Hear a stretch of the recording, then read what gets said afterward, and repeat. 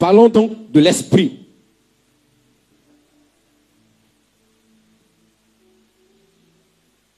Grand 2, grand 3, l'esprit. L'esprit. Donc je disais, toute personne, toute personne, quand tu es né, tu es né avec un corps, une âme et un esprit. Maintenant, quand tu te convertis à Dieu, c'est l'esprit de Dieu maintenant qui vient prendre la première place. Il devient comme celui qui te dirige. Il devient comme celui qui te guide. Alléluia. Maintenant, l'esprit, quant à lui, il représente la partie invisible de Jésus-Christ de Nazareth. L'esprit représente la partie invisible de Jésus. 2 Corinthiens 3, verset 17. 2 Corinthiens 3, verset 17.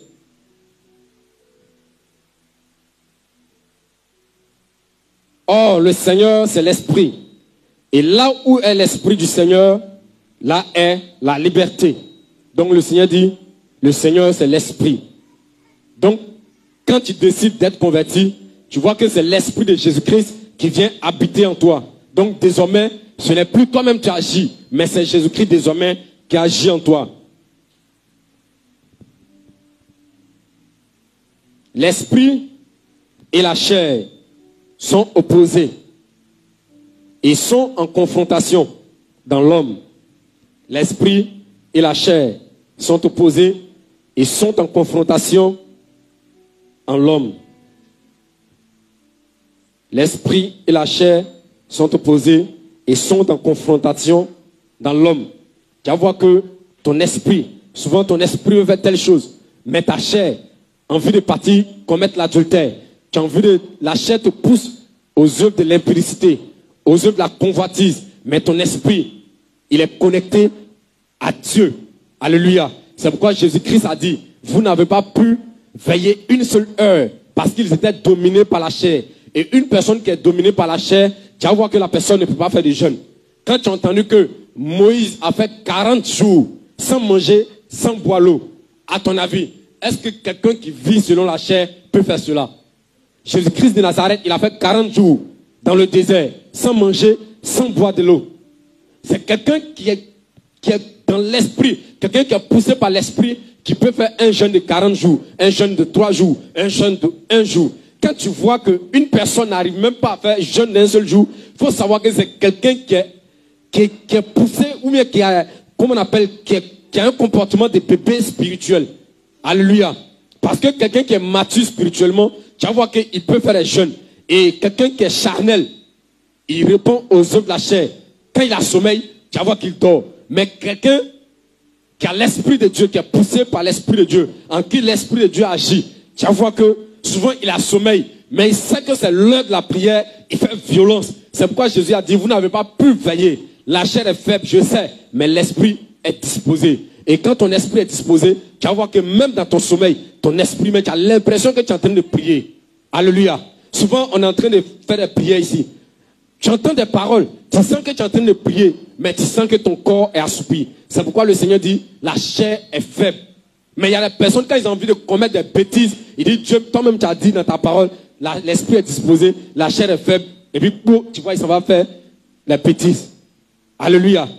Lui-même, il a dit, la chair est faible, mais l'esprit est disposé. Et donc, quand tu es chrétien, ce n'est pas la chair qui doit agir en toi, mais c'est l'esprit de Dieu qui doit être au-dessus de la chair. Parce que la chair répond aux œuvres de la chair, la convoitise, l'adultère, l'impudicité. Mais l'esprit se connecte à Dieu et on répond aux choses spirituelles. Alléluia.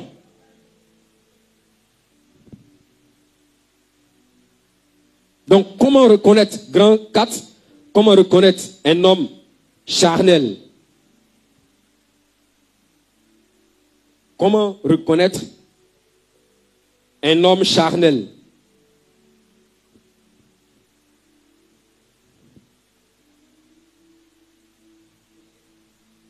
Comment reconnaît-on un homme charnel? Tout simplement, tu vas voir que quand il est dans un coin, toujours, par là manque pas. Les disputes, les querelles, les jalousies, la colère. Ça, c'est quelqu'un qui agit selon la chair. Alléluia. Il faut que chacun dépasse ce niveau-là. Parce que ça fait depuis combien d'années on dit que tu es chrétien, tu vas à l'église. Maintenant, ce côté-là agit encore en toi. Donc, il faut savoir que tu es encore un bébé spirituel. Donc, les disputes, les querelles, la jalousie. 1 Corinthiens 3, verset 1 ou verset 4. 1 Corinthiens 3, verset 1, verset 4. Je lis la parole du Seigneur. Pour moi, frère, ce n'est pas comme à des hommes spirituels que j'ai pu vous parler, mais comme à des hommes charnels, comme à des enfants en Christ. Je vous ai donné du lait, non de la nourriture solide, car vous ne pouviez pas la supporter. Et vous ne le pouvez pas. Et vous ne le pouvez. Il dit, verset 2, je vous ai donné du lait, non de la nourriture solide, car vous ne pouviez pas la supporter et vous ne le pouvez pas. Même à présent, parce que vous êtes encore charnel. Voilà pourquoi Paul dit ça.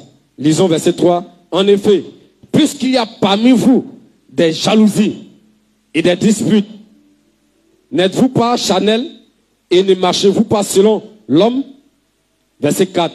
Quand l'un dit, moi je suis de Paul, et l'autre, moi d'Apollos, n'êtes-vous pas des hommes? Donc, il dit, il reproche ça aux Corinthiens. Lui, la nourriture qu'il leur donne. Un enfant, quand tu veux le nourrir, quand il est né pour la première fois, son premier jour, c'est pas Gaba tu as acheté pour lui donner pour manger. C'est pas Foutou tu as pilé pour lui donner pour manger. C'est lait tu vas lui donner. Tu vas lui donner à têter. Maintenant, Paul lui parle aux Corinthiens. Il dit, la nourriture que je vous ai donnée, ce n'est pas de la nourriture solide. Je vous parle étant comme des enfants, comme des hommes charnels. Vous n'êtes pas encore spirituels. Parce que si vous étiez spirituel, les disputes, les querelles, les jalousies qu'il y a parmi vous, ça n'allait pas exister. Alléluia. Donc, quand tu es spirituel, tout ce qui concerne la colère, les jalousies, les palabres, tu ne dois pas faire ça encore. Même tu sais qu'il y a des choses qui te pousse à faire. Mais tu sais comment, par l'Esprit de Dieu, comment arriver à prendre le dessus sur ce que le diable veut de toi. Alléluia. Donc c'est l'immaturité spirituelle. L'homme chanel, il est rebelle à Dieu. L'homme chanel est toujours rebelle à Dieu. Quand Dieu dit de faire ceci, lui fait toujours le contraire. Quand il dit d'aller à gauche, lui va à droite. Donc il est rebelle à la parole de Dieu. Quand tu vois des personnes qui sont là, Dieu n'existe pas, Dieu ne fait pas tant, ça ce sont des hommes chanels. Donc ils se révoltent toujours contre ce que Dieu dit. Il se préoccupe plus de son corps que de son état spirituel. Donc pour reconnaître un homme chanel, il se préoccupe plus de son corps qui va retourner dans la poussière, plus que de son état spirituel. Tant qu'elle n'a pas porté tel habit, on est euh, aujourd'hui, telle personne est sapée. Donc moi aussi, je dois porter même habit. L'autre personne a porté un habit de 20 000. Moi aussi, je dois porter 40 000. L'autre personne a mis tel maquillage. Moi aussi, je dois mettre tel maquillage. Et quand elles sont devant des miroirs, elles peuvent passer des heures, des heures, des heures en train de se regarder. Alléluia. Tellement qu'elles sont fières de leur propre corps. Donc, l'homme, Chanel, l'homme qui agit selon la chair, tu vois qu'il est égocentrique, tout est basé, tout est centré sur lui-même. Il ne pense pas aux autres. Tout est moi, moi, moi, moi, moi, moi, moi, moi, moi. Je suis, je suis, je suis. Même s'ils sont en train de parler, et quand il arrive à quelque part, il commence à se taper la poitrine pour dire, moi, avant, j'étais comme ça, j'étais comme ceci. Même ils sont en train de faire éloge de quelqu'un d'autre. Lui, tu vois qu'il veut lui-même présenter son image. Alléluia. Donc, l'homme Chanel, c'est comme ça il agit. Il se préoccupe plus de son corps plus que son état spirituel. Matthieu 26, Matthieu 26, verset 40 et le verset 41. Matthieu 26, verset 40 et verset 41. Je lis la parole du Seigneur.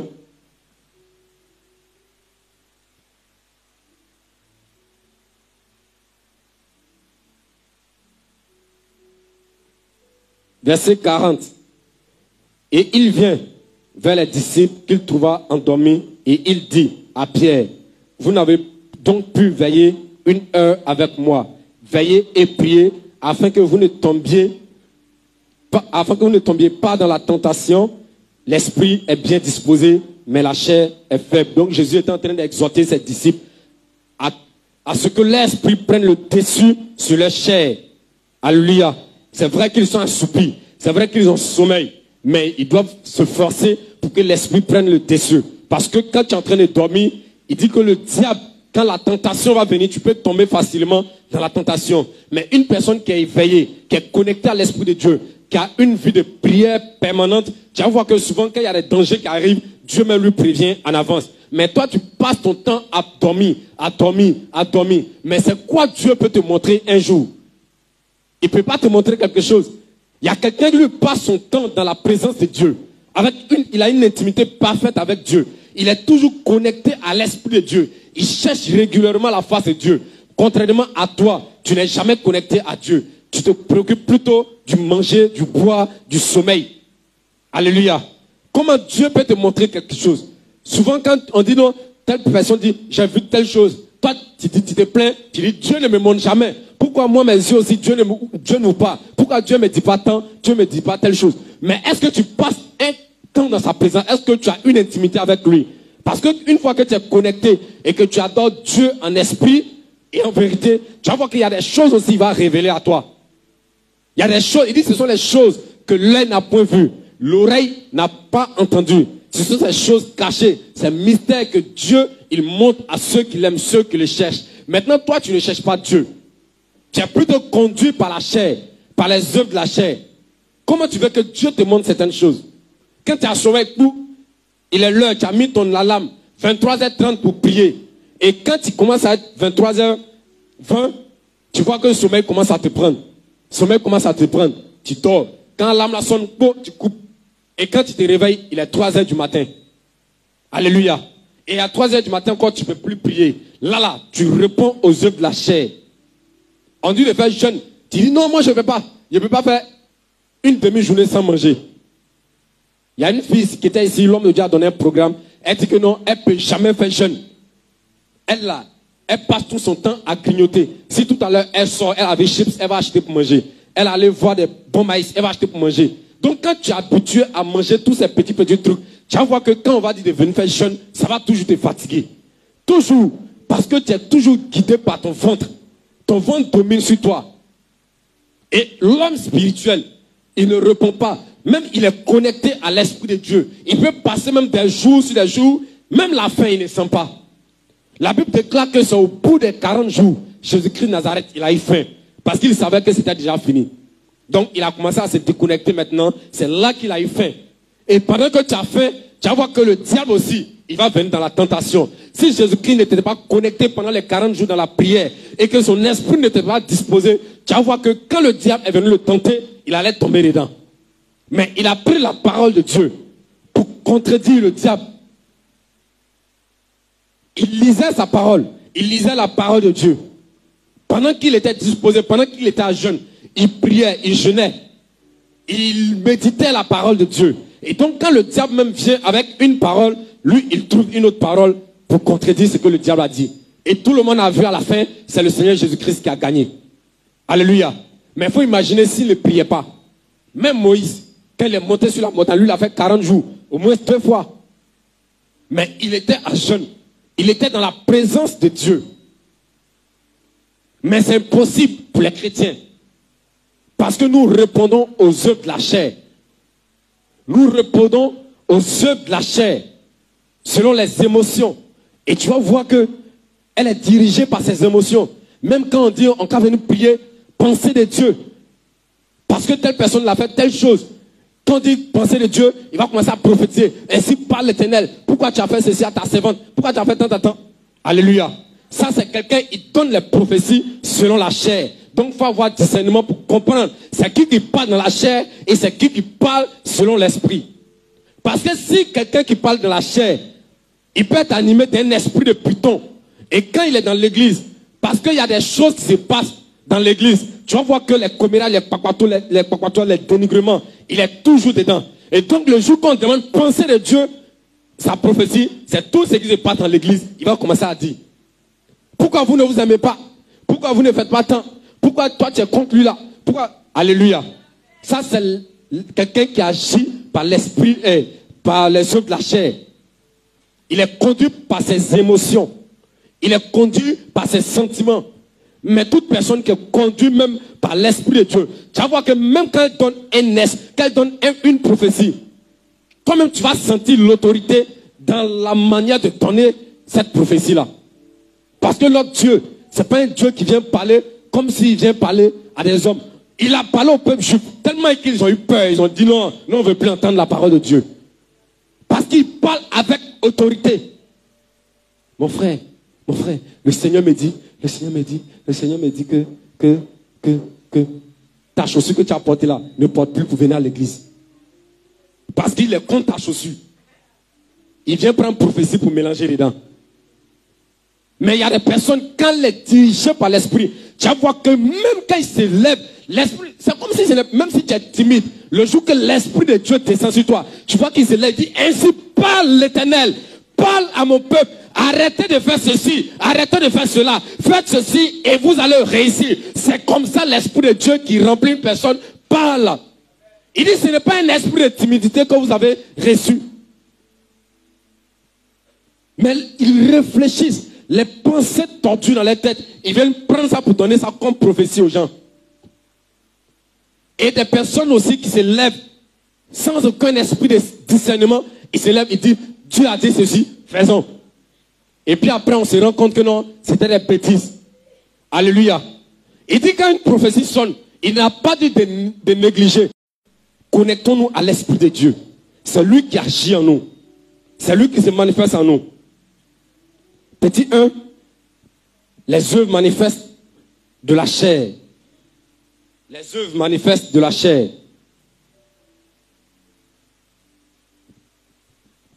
Quelles sont ces œuvres-là? Donc, dans le grand 2, on dit comment reconnaître un homme charnel. Petit 2.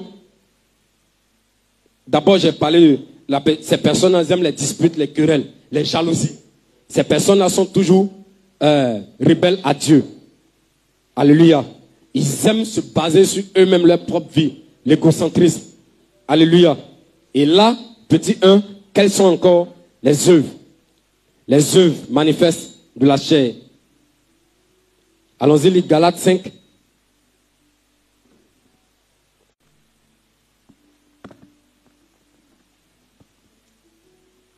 5, verset 19.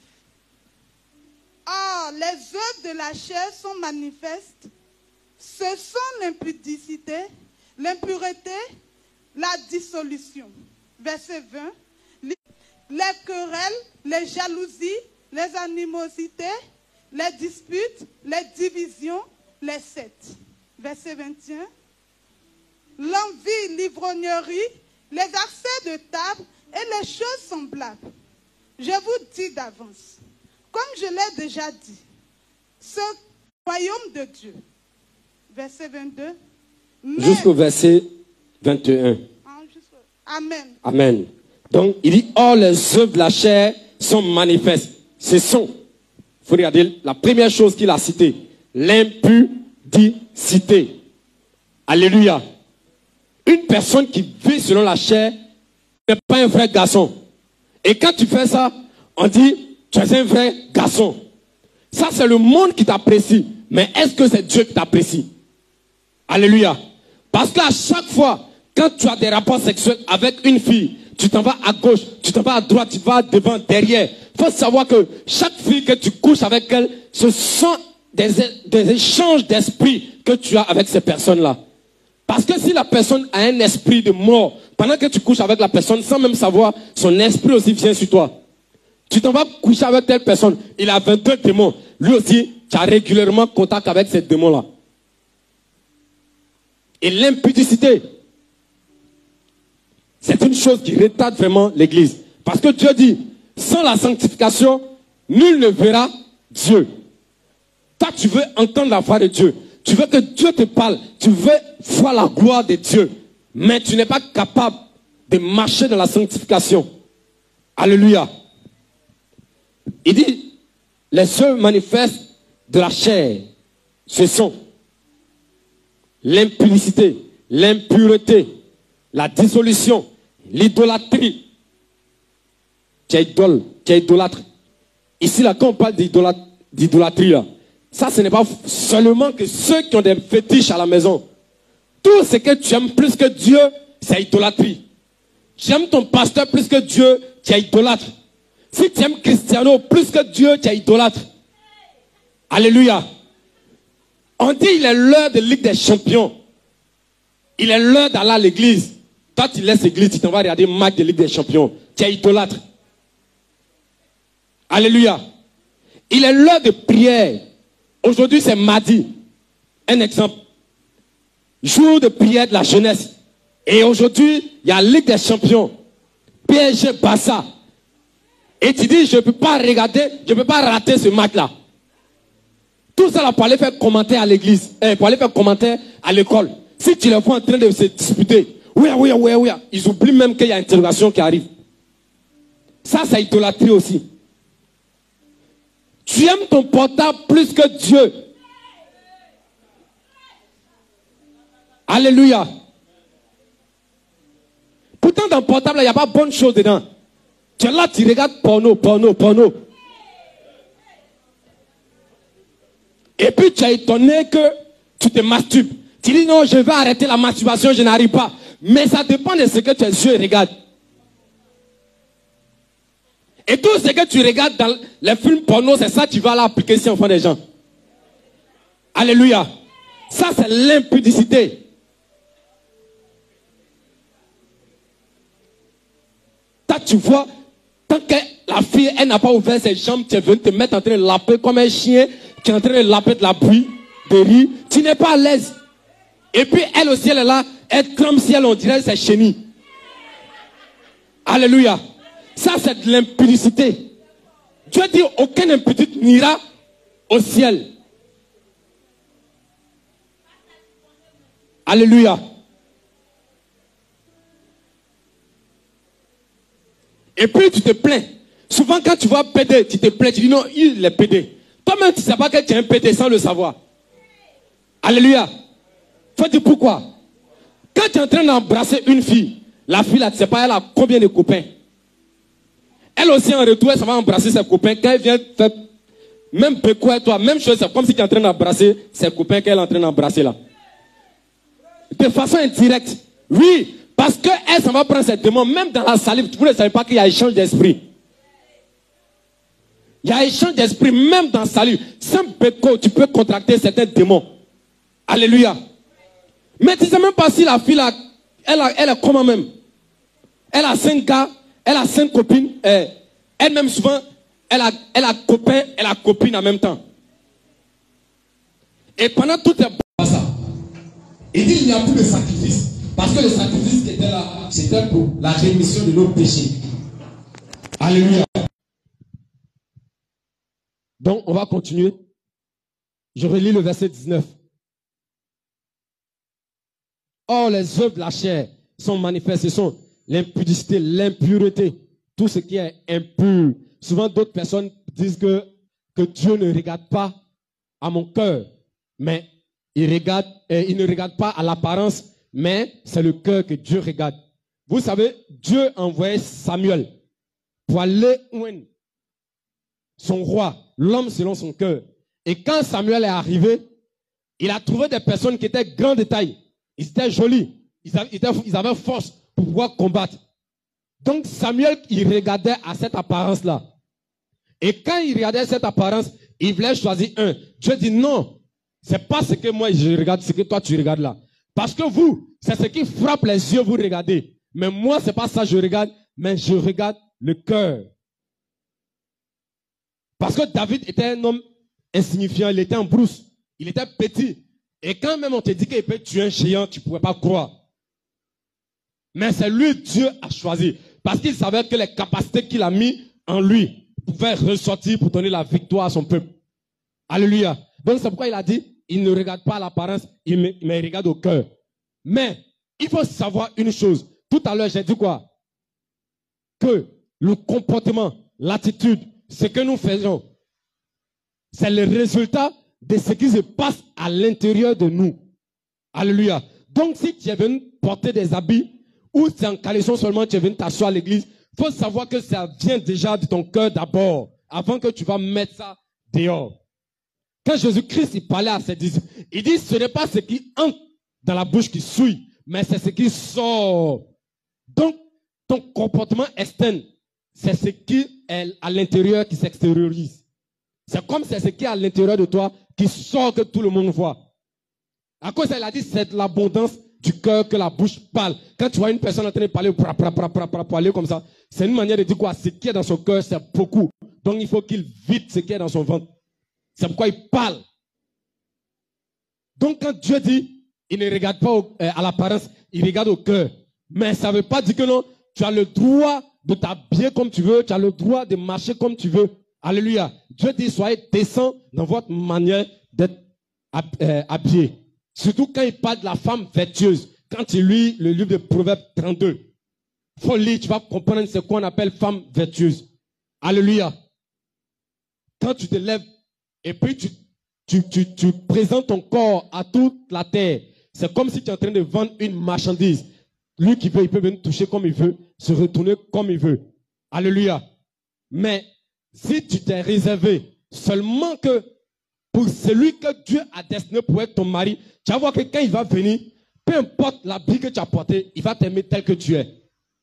Mais quand tu t'habilles d'une certaine manière, c'est vrai que tu attires le regard des hommes. Mais tous ceux qui vont venir derrière toi, c'est pour peut-être coucher avec toi et puis repartir. Parce qu'il est assuré, il n'y a pas un homme qui va vouloir que sa femme soit habillée d'une manière bizarre, à moitié nue pour se promener partout. C'est ce qui est nu. Il y a des choses, quand ça est dans l'emballage, ça donne l'envie de découvrir ce qui est dedans. Maintenant, toi, pour toi là, tu fais sortir déjà dans l'emballage, tout le monde voit déjà.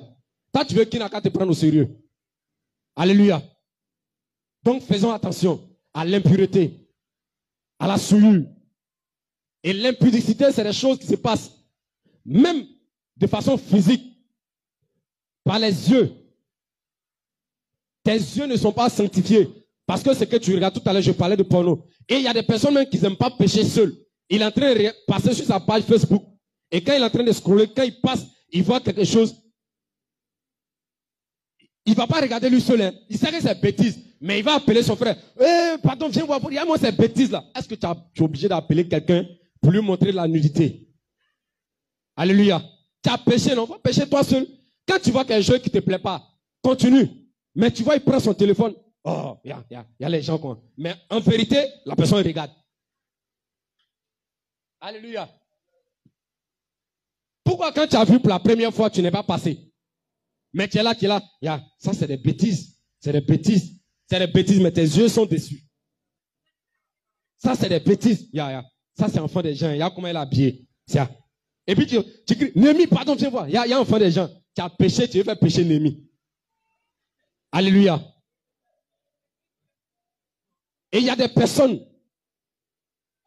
même femme en train de passer seulement, il a fini de déshabiller femme là dans son esprit, il a couché avec elle, tout la position il a fini de faire. Il a fini de convoiter. Voilà, c'est ça. Elle enceinte en même temps. Alléluia. Dieu dit, celui qui regarde une femme et la convoite dans son cœur, c'est comme s'il a déjà commis l'adultère avec elle. Mais toi, tout ce qui passe, tu vas regarder. Il va regarder comme ça. Tous ses yeux là sont éclatés comme ça. Maintenant, il y a des gens, ils savent qu'on les reconnaît. Tellement qu'ils savent regarder, il fait semblant. Ses yeux sont comme ça. Mais avant même que les autres vont voir lui-même il a déjà commencé à regarder la chose. Quand d'autres sont, en train d'apprécier, il fait comme si lui ne voit pas. Or, il a déjà regardé même tout ce qui est dans sa tête. Il a déjà imaginer les mauvaises choses dans sa tête. Donc l'impudicité, ça peut se passer même de façon interne. Marions-nous vivants. Alléluia. Tu es là, tu veux vivre dans une vie où, parce qu'on dit tu es marié, tu ne veux plus chercher d'autres femmes. Et pour ne pas qu'ils vont voir battre sur ton doigt, tu ne veux pas te marier. Et tu couches avec telle personne. Tu ne sais même pas que quand tu es en train de passer un temps dans la présence de Dieu, Le temps que tu passes dans la présence de Dieu, c'est comme s'il est en train de te donner une certaine onction. Et le jour que tu te lèves, tu as fait 10 ans de consécration, et tu t'en vas pendant les 10 ans, tu vois une fille en même temps qui est remplie de mamiwata. Elle vient, tu la dragues, tu as couché avec elle. Tout ce que tu as appris là, tu es parti mettre ça là-bas. Et puis c'est maintenant tu regrettes. Alléluia. Faisons attention. Actuellement là, même pour faire ton mariage, tu n'es pas obligé de compliquer ta tâche. L'homme de Dieu, il a donné le bel exemple. Alléluia. Le jour même qu'il a fait d'autres, il n'a même pas pris cortège de camions. Il n'a même pas mis 22 bâches. Les gens qui sont partis là, ça ne dépasse pas 10 personnes. Ce qu'il avait à donner à la famille, il est parti donner. Mais nous, on prend tout l'argent, on veut mettre tout dans d'autres. Et puis maintenant, mariage là, on fait 10 ans avant de se marier. Tu penses que quand on dit que tu es doté là, c'est dit que c'est fini comme ça. Avant en Israël, quand tu fais dot là, tu n'as pas le droit de vivre avec ta femme d'abord. On dit, Marie, elle était fiancée à Joseph. Mais il ne l'avait pas encore connue, il n'avait pas encore couché avec elle. Mais toi, faut regarder, ça fait combien de fois tu as, d'autres que tu as fait là, ça fait combien de temps? Vous vivez ensemble. Et tu es fier de dire non, moi, il a doté ma femme. Tu ne sais pas que même étant doté, tu vis dans l'impudicité. Quand Joseph a appris que, quand il a appris que Marie est enceinte, il pensait qu'elle est partie coucher avec quelqu'un d'autre. Donc, il a décidé de quitter. Parce qu'en Israël, là, quand tu couches avec femme et avec quelqu'un sans mariage, on doit te lapider, te tuer. Mais lui, il est même mari. Donc, il a décidé de rompre de façon secrète. C'est là Dieu va se révéler à lui pour dire non, tu as fait toi de ta femme. Elle n'a pas couché avec quelqu'un, c'est l'œuvre du Saint-Esprit. Alléluia. C'est l'œuvre du Saint-Esprit. Mais on veut tellement miser dans la dot, qu'on finit de miser dans la dot, maintenant pour faire mariage, on ne peut pas. Abraham a envoyé son serviteur pour aller doter femme pour son fils Isaac, il faut demander, est-ce qu'Abraham lui-même est parti? C'est combien de personnes ont pris pour aller célébrer? Ce qu'il avait à donner, quand il est arrivé, il a donné, il a pris Rebecca, il est parti. Ça, c'est la dot. Maintenant, mariage, ça, ça dépend de toi. Si tu veux organiser pour, que, inviter toi à ça, ça n'engage que toi, c'est parce que tu as les moyens. Mais tu ne peux pas faire ça. Est-ce que tu peux pas faire un simple mariage pour éviter de, pour quitter dans, dans, ce démon-là et pour quitter ce péché-là? Alléluia. Moi-même, j'ai du mal. Souvent, pour prononcer, quand je vois des personnes qui vivent ensemble, sans mariage, moi, pour dire ta femme là, moi, sincèrement, ma langue est lourde pour dire ta femme. Parce que c'est quel droit qui a prouvé que c'est ta femme? Tout à l'heure, quelqu'un est venu dire, je veux de toi, qu'elle a accepté, il avait d'autres, il avait mariage, c'est plus pour toi. Ou bien, tu n'as pas fait tu n'as pas fait mariage, tu vis, et puis tu dis, ma femme, ma femme, ma femme, tu fais jalousie dans ça. C'est ta femme ou ça? Alléluia. Tu vis dans l'impudicité. Dans ça, là, tu as 90 enfants déjà.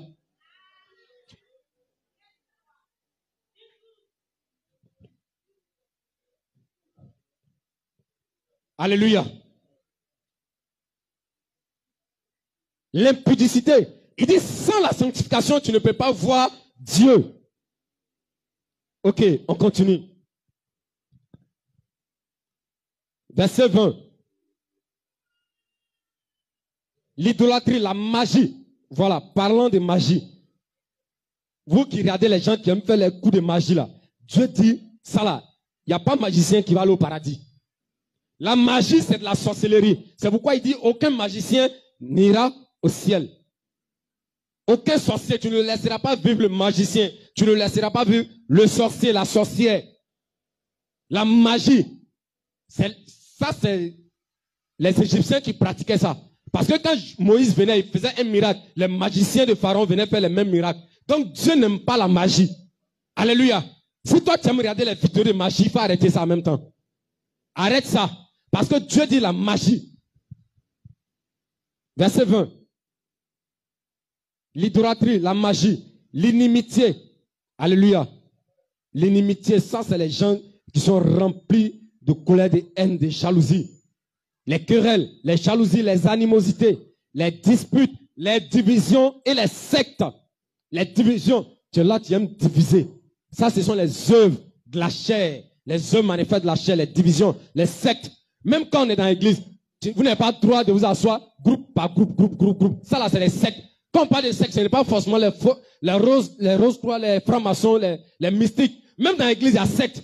Tu vois, ils ont formé un groupe là-bas, et puis ils sont en train de critiquer l'autre groupe. Tu vois un groupe à gauche, un groupe à droite, un groupe devant, un groupe derrière. On dit non, les baoulés sont ici, les bétés sont ici, les gourous sont ici, et chacun dénigre l'autre. Quand ils sont là-bas, les baoulés parlent les langues, les bétés parlent les langues, les djoulas parlent les langues. Et puis maintenant, ça devient division dans l'église. Ça, c'est des sectes. Alléluia.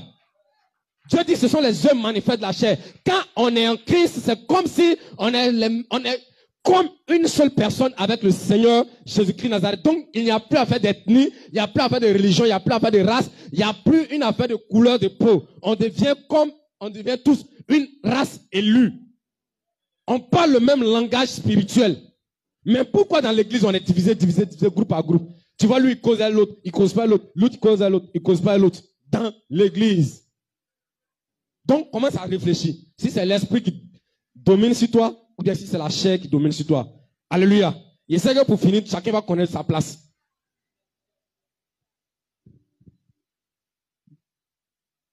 Les sectes, l'envie. Ah, il a cité encore verset 21. Il dit l'envie. Généralement, quand tu es avec un monsieur, et puis il fait quoi? J'ai envie de toi, hein. Ça peut te dire, veut coucher toi pour te laisser. Les envies. Les envies. Dieu dit, il n'aime pas ça. Tu peux désirer une personne. C'est ta femme. Donc, Paul même, il a dit, je désire vous voir. Ça là, c'est un peu différent, non? De ce que tu as envie d'une personne. Peut-être tu peux coucher avec une personne par envie, et puis après, tu continues ton, ton chemin. Mougoupan. Alléluia. Il dit les envies. C'est pas moi j'ai parlé, hein. c'est écrit dans la parole de Dieu. Noir sur blanc. L'ivrognerie. Tu es là quand tu bois. Tant que tu n'as pas commencé à botter toutes les, personnes qui sont chez toi à la maison. Tu as bu tes quand ta femme, tu la frappes. Tes enfants, tu les frappes. L'argent même que tu dois prendre pour payer la scolarité de tes enfants, tu as mis dans l'alcool. Quand ton enfant vient, papa, il y a un pic bleu. Ah, il n'y pas l'argent, il n'y a pas l'argent. Quand tu étais en train de mettre ton sperme là, tu pensais que qui n'a qu'à s'occuper de ça. Alléluia. Gloire à Jésus. C'est pourquoi tu vas voir qu'il y a des enfants, tellement que les parents, ils sont ivrognes, ils sont irresponsables, et aussi ils se livrent aussi aux œuvres de l'impudicité. On peut parler de ça. Parce que l'enfant, il est à la maison, lui-même pour manger, il ne gagne pas. Il a faim, matin, il veut manger, il ne gagne pas manger. Un enfant qui quitte à l'école, il a faim, il veut manger, il ne gagne pas. Toi, tu es papa, on te paye. Déjà, on dit le 15 du mois, tout le salaire est fini. Tes enfants, maintenant, ils ont faim à la maison. Maintenant, le monsieur, il y a à la maison, même si elle a 14 ans, il y a un jeune qui vient, ma chérie, tu me plais, tiens 1000 francs. Même si elle n'est pas faim, elle va l'accepter. Et puis, ça les conduit maintenant dans les bêtises. C'est pourquoi on dit, si tu n'es pas prêt, pardon, faut voir ça là, tu as loupé. Alléluia. Quand je suis en train de parler, ça me concerne. Ça concerne toi. Ça te concerne, ça concerne tout le monde. Alléluia. L'impudicité, c'est tout le monde a passé par là. Tout le monde est passé par là, que tu sois pasteur. Ça, c'était avant les gens avaient tellement cette crainte de Dieu. Même on dit avant les, les, juifs. Tu manges, on vient vendre les ballonneux comme ça. On dirait quelqu'un qui a malnutrition. Alléluia. Tu vas vendre les ronds comme ça. Il est rassasié, mais ils envoient quelque chose qu'il aime, il veut manger encore. On dit lait, tu manges, tu bois, tu es rassasié. On envoie à loco, oh, à loco, il que frites, tu manges. On envoie porc. Non, mais ils sont. Non, il y a des gens, mais quand ils voient viande de porc, ils ne peuvent pas passer dessus même. Ah! Alléluia. Quand les totem même se voir viande, même si elles sont rassasiées, comment, comment, elles ne peuvent pas passer pour laisser. Alléluia. Les excès de table et les choses semblables, je vous dis d'avance, comme je l'ai déjà dit, que ceux qui commettent de telles choses n'hériteront point le royaume de Dieu. Alléluia. Donc, c'est pas ça qui est clair et net ici. Il dit tous ceux qui font ce genre de choses ne peuvent hériter du royaume de Dieu. Alors, donc si tu es chrétien et, et que tu sais que tout ce que j'ai cité ici, ce sont ces choses-là qui se manifestent en toi, pardon, il faut faire un effort. Tu essaies de changer pour plaire à Dieu. Ne fais pas ça à cause de toi-même. Ne fais pas ça à cause de ton mari. Ne fais pas ça à cause de quelqu'un. Mais à cause de Dieu, il faut essayer de voir. Alléluia. Ok, on continue. Je sais que tu n'es pas content, même si tu n'as pas dit Amen. Hum, moi, j'ai fini de parler de la part du Seigneur.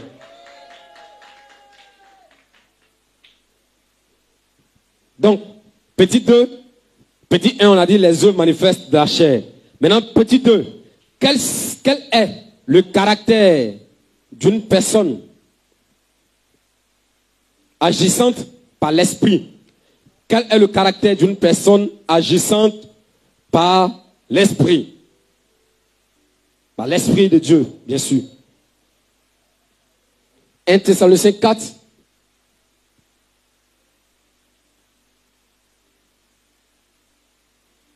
Le premier signe, c'est la sanctification ou la consécration. Donc tout à l'heure, je parlais de l'impureté, de l'impudicité. Et tous ces œuvres de la chair, la convoitise, les désirs chanel, tout ça. Maintenant, on dit les caractères agissant en une personne. Donc pour reconnaître une personne qui marche par l'esprit, tu vas voir que la personne a une vie de sanctification, une vie de consécration. Il vit régulièrement dans ça. Et quand on se sanctifie, ça peut plaire à Dieu. On ne se sanctifie pas parce que non, je dois aller au paradis. Non. Si tout à l'heure Dieu disait, paradis là, c'est gratuit. Tu as péché, oh. tu as fait mauvaise chose, oh. tu as fait bonne chose, oh. tout le monde au paradis. Il y a des personnes dimanche à plus les voir à l'église ici. Si Dieu dit le péché n'existe plus, tu vas voir qu'il va venir dans la présence de Dieu pour l'adorer parce qu'il sait que Dieu, il est digne d'être adoré parce qu'il aime Dieu. Alléluia. Il aime Dieu. Donc on ne se sanctifie pas parce qu'on va aller au paradis. Ou bien parce que non, je veux toute l'onction du monde, donc je, veux, je dois me sanctifier. Non. Si tu fais ça là, une petite tentation peut venir, tu vas tomber dedans, et puis si c'est à cause de l'onction, tu vas perdre ça. Il faut imaginer que tu as fait 20 ans de consécration. Et puis à cause d'une seule bêtise, une fois, Dieu là, il peut voir ton intimité avec lui. Et puis tu es tombé dans le péché, il sait que ce n'est pas de ta faute. Il va t'épargner, et puis l'onction que si toi pètes, tu t'es repenti, il la laisse telle qu'elle est intacte. Parce que tu t'es repenti. Mais toi, parce que tu vas aller au paradis, parce que tu veux l'onction, parce que tu veux telle, telle, telle, telle chose, c'est à cause de ça que tu te sanctifies. Il faut savoir que tu ne vas pas avoir quelque chose avec Dieu. Ou même si Dieu te donne, tu ne peux pas bénéficier de ça à 100%. Alléluia. Donc, Galates 1 Thessaloniciens 4, verset 3 au verset 5.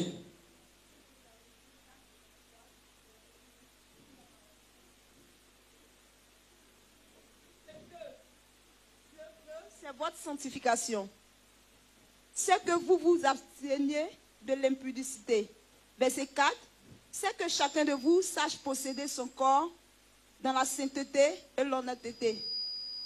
Verset 5. Sans vous livrer à une convoitise passionnée, comme font les païens qui ne connaissent pas Dieu. Amen. Alléluia. Il dit ce que Dieu veut, c'est votre sanctification. Tu cherches la volonté de Dieu. Voilà ce que Dieu dit veut ce matin. Il dit c'est votre sanctification. Que chacun d'entre vous arrive à marcher dans la sainteté. Ne faites pas comme de la manière que les païens font. Elle va te dire, ta camarade là, toi tu vas à l'église et puis tu fais plus que ce que moi je fais. Elle peut jamais partir à l'église, jamais de la vie. Alléluia. Il dit, ne vous comportez pas comme les païens. Verset 7. On lit verset 7.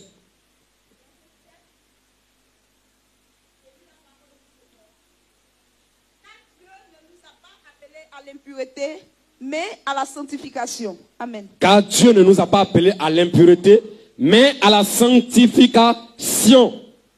Quand Dieu t'a appelé, ce n'est pas pour vivre dans l'impudicité. Quand tu es pasteur et puis toi-même tu as pris cinq femmes pour mettre derrière toi, c'est que tes fidèles vont faire plus que toi. Parce qu'eux te regardent, selon ce que tu fais, eux aussi veulent agir de la même manière. Et puis ils vont chercher à te dépasser. Et il y a un pasteur qui dit que Dieu même là, il n'a pas donné le nombre exact de femmes que tu veux prendre. Que tu peux prendre autant que tu veux. Et puis précise, autant que tu veux. C'est-à-dire, même si tu veux 20 femmes, tu veux 1000 femmes comme Salomon, tu peux faire. Ça, c'est lui sa conception. Et puis quand tu leur poses question, ils vont te prendre l'exemple d'Abraham, ils vont te prendre l'exemple de David, ils vont te prendre l'exemple de Salomon.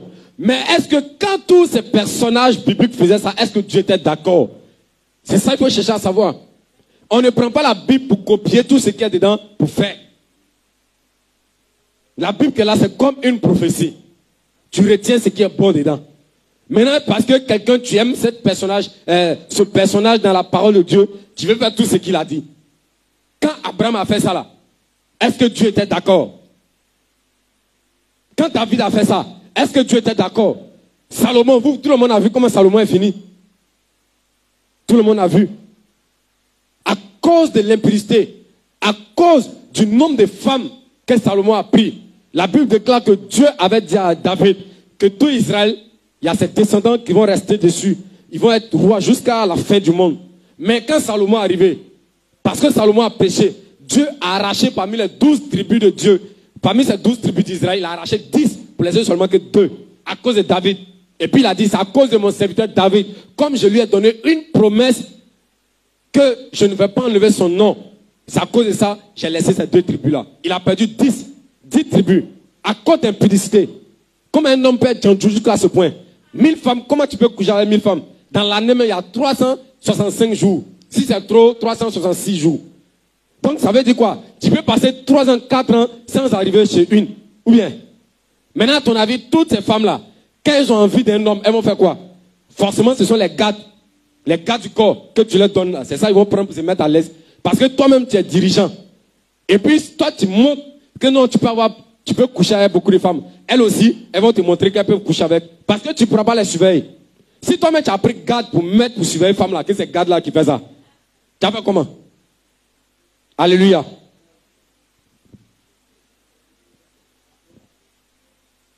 Donc 1 Corinthiens 6, verset 9 jusqu'au verset 20.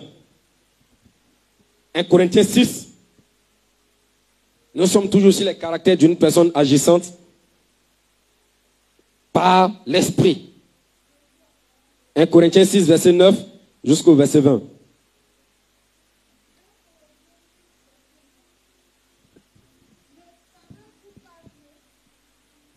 Ne savez-vous pas que les injustes n'hériteront point le royaume de Dieu? Ne vous y trompez pas. Ni les impudices, ni les idolâtres, ni les adultères, ni les inféminés, ni les inflammes, ni les voleurs, ni les cupides, ni les ivrognes, ni les outrageux, ni les ravisseurs n'hériteront le royaume de Dieu. Verset 11. Et c'est là ce que vous étiez, quelques-uns de vous. Mais vous avez été lavés, mais vous avez été sanctifiés, mais vous avez été justifiés au nom du Seigneur Jésus-Christ et par l'Esprit de notre Dieu. Verset 12. Tout m'est permis, mais tout n'est pas utile. Tout n'est permis, mais je ne les laisserai asservir par quoi que ce soit. Verset 14. Les aliments sont pour le ventre et le ventre pour les aliments, et Dieu détruira l'un comme les autres. Mais le corps n'est pas pour l'impudicité. Il est pour le Seigneur et le Seigneur pour le corps. Verset 14. Et Dieu qui a ressuscité le Seigneur nous ressuscitera aussi par sa puissance. Verset 15. Ne savez-vous pas que vos corps sont les membres de Christ? Prendrai-je donc les membres de Christ pour en faire les membres d'une prostituée? Loin de là. Ne savez-vous pas que celui qui s'attache à la prostituée est un seul corps avec elle? Car, est-il dit, les deux viendront, deviendront une seule chair. Verset 17. Mais celui qui s'attache au Seigneur, avec lui un seul esprit. Verset 18.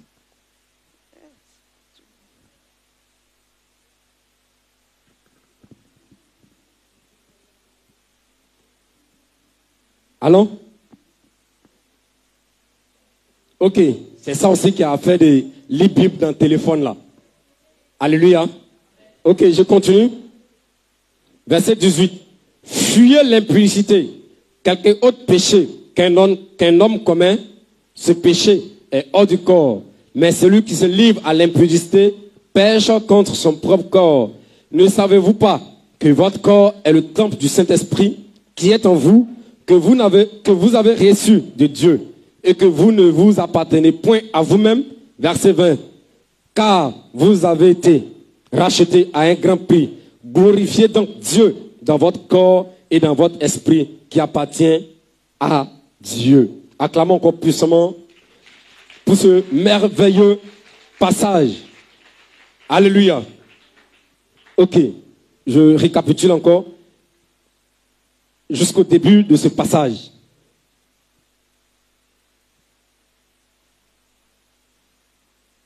Le verset 9. Voilà ce que le Seigneur dit. Ne savez-vous pas que les injustes n'hériteront point le royaume de Dieu Les injustes, tout ce que tu fais, il y a l'injustice dedans. Injustice, injustice, injustice. Il dit, tu n'hériteras point le royaume de, de Dieu. Ne vous y trompez pas, ni les impudiques. Il confirme encore. Chaque verset, Dieu va parler de, quand il va parler de sanctification, il va parler de l'impudicité. Ni les idolâtres, ni les adultères. Le monsieur est marié, c'est lui qui cherche. La femme, elle est mariée. C'est elle que tu veux. Frère, faut savoir que ton salut est en danger. Parce que tu peux aller en enfer à cause de l'adultère. Verset 10. Ni les efféminés, garçons, femmes. Tu te comportes comme une femme, comme une gonzesse. Tu portes habits de femme, des boucles d'oreilles, des chaînes. Comme les vieilles prostituées. Avant, c'est ça qu'on utilisait dans la parole de Dieu, si tu ne sais pas. Ces choses-là pour démontrer que ces personnes-là sont des prostituées. Dans la parole de Dieu. Et actuellement, comme les gens ne connaissent pas cette parole, donc le diable est venu reblaguer les gens et ils utilisent ce genre de choses-là. On n'a pas dit qu'il ne faut pas utiliser chaîne. C'est Dieu lui-même qui est d'accord. Les bagues, il n'a pas dit de ne pas mettre. Mais toi, tu es garçon. Boucle d'oreille cherche quoi sur ton oreille? Quand Dieu est féminin, c'est celui qui a caractère de femme. Il marche comme femme. Il y a une femme, on est parti évangéliser, quand on a fait sortir verset là, il était ennemi. Elle dit non, mais s'il marche comme ça là, que c'est pas de sa faute. Que pourquoi Dieu peut être sévère pour dire que non, ils ne vont pas aller au paradis. Il dit, est-ce que tu as lu Romains 1, Romains 1 verset 27 Il dit, c'est parce que ces personnes n'ont pas cherché à connaître Dieu. Puisqu'ils ont rejeté Dieu, ils n'ont pas cherché à connaître que Dieu existe. C'est pourquoi Dieu les a livrés à eux-mêmes, leurs propres penchants, leurs propres pensées, en commettant homme avec homme, femme avec femme. Des choses infâmes de la sorte. C'est parce qu'il y a des personnes, ils n'ont jamais cherché à connaître Dieu. Tu vas voir que Dieu aussi, il envoie des choses comme ça aussi sur la vie. Il dit, toi, tu es pasteur, si tu marches dans la voie de Dieu, comme il se doit, Dieu ne peut pas permettre que ces gens de bêtises naissent dans ta famille. Parce qu'il dit, par les fruits, on les connaîtra, on les reconnaîtra. Et regarde le fruit de tes entrailles. Regarde comment il est. Moi, mon enfant, tu as comme ça depuis longtemps été rejeté. Il ne te reconnaît pas. Parce que quand je vais te parler, le Seigneur lui-même, il a dit, d'autres ont dit que non, peut-être il est en train, il est dû. Comment tu as fait enfant? Et puis tu as dit tu ne reconnais pas. Lui-même, il a dit, si ton œil est pour toi une occasion de chute, faut l'enlever. Moi, je ne peux jamais me comporter comme Élie le sacrificateur. Jamais de la vie. Impossible. Parce que si je te parle, moi, je suis serviteur de Dieu. Et je te dis, arrête de porter des habillements de femmes, arrête de te comporter comme une femme, arrête de coucher avec des garçons comme si ça, euh, tes camarades, c'est comme si ce sont tes femmes. Tu ne veux pas écouter. Moi, j'ai parlé jusqu'à, tu n'écoutes pas. moi je te rejette. C'est trop simple. Tu vas quitter chez moi. Et lui, le sacrificateur, quand Dieu l'a parlé, il a gardé pour lui. Il est mort. Alléluia.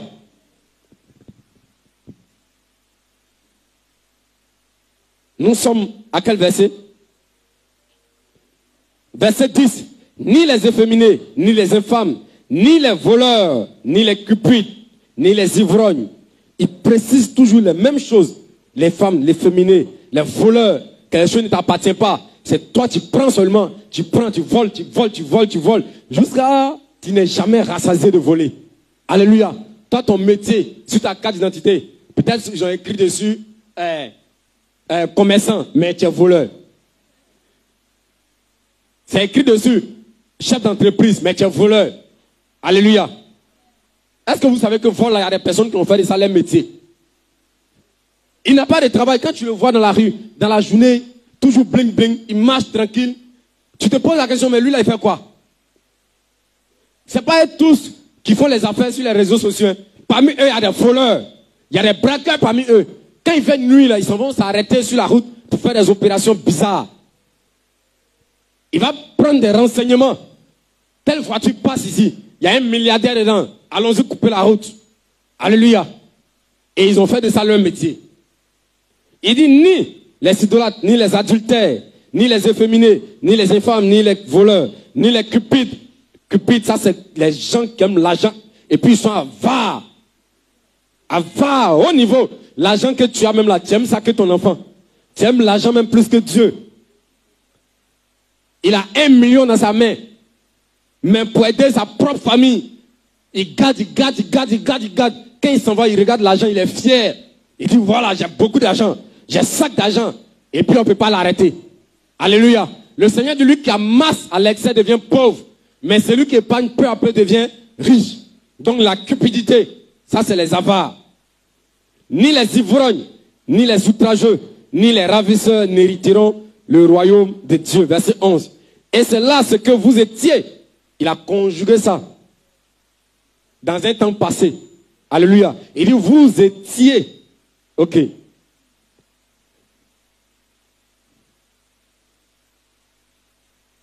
Mais vous avez été lavés. Mais vous avez été sanctifiés. Mais vous avez été justifiés au nom du Seigneur Jésus-Christ par l'Esprit de Dieu. Alléluia. Donc quand tu acceptes le Seigneur Jésus-Christ Nazareth, son esprit vient habiter en toi. Son sang qui a coulé sur la croix de Golgotha, d'habitude tu étais déjà, euh, comment on appelle, éloigné de Dieu à cause de tes péchés, de l'impudicité, à cause de tes péchés. Dieu maintenant, il te réconcilie désormais avec lui par son sang, le sang de son fils qui a coulé sur la croix de Golgotha. Désormais, tu es réconcilié avec Dieu. Alléluia. Et son esprit qui vient habiter en toi maintenant, l'esprit te dirige. Verset 12. Tout m'est permis. Quand Dieu dit, je mets devant toi la vie et la mort, le bien et le mal, lui, Dieu ne te force pas à choisir. Mais le conseil qu'il te donne, il dit, il faut choisir ce qui est bon. À cause ça, il a dit, tout m'est permis. Tu as le droit de faire ce que tu veux. Mais, est-ce que c'est utile pour toi? Verset 12. Tout m'est permis, mais tout n'est pas utile. Tout m'est permis, mais je ne me laisserai asservir par quoi que ce soit. Les aliments sont pour le ventre et le ventre pour les aliments. Et Dieu détruira, détruira le ventre pour les aliments et Dieu détruira l'un comme l'autre. Mais le corps n'est pas pour l'impudicité. Dieu dit que ton corps n'est pas pour l'impudicité.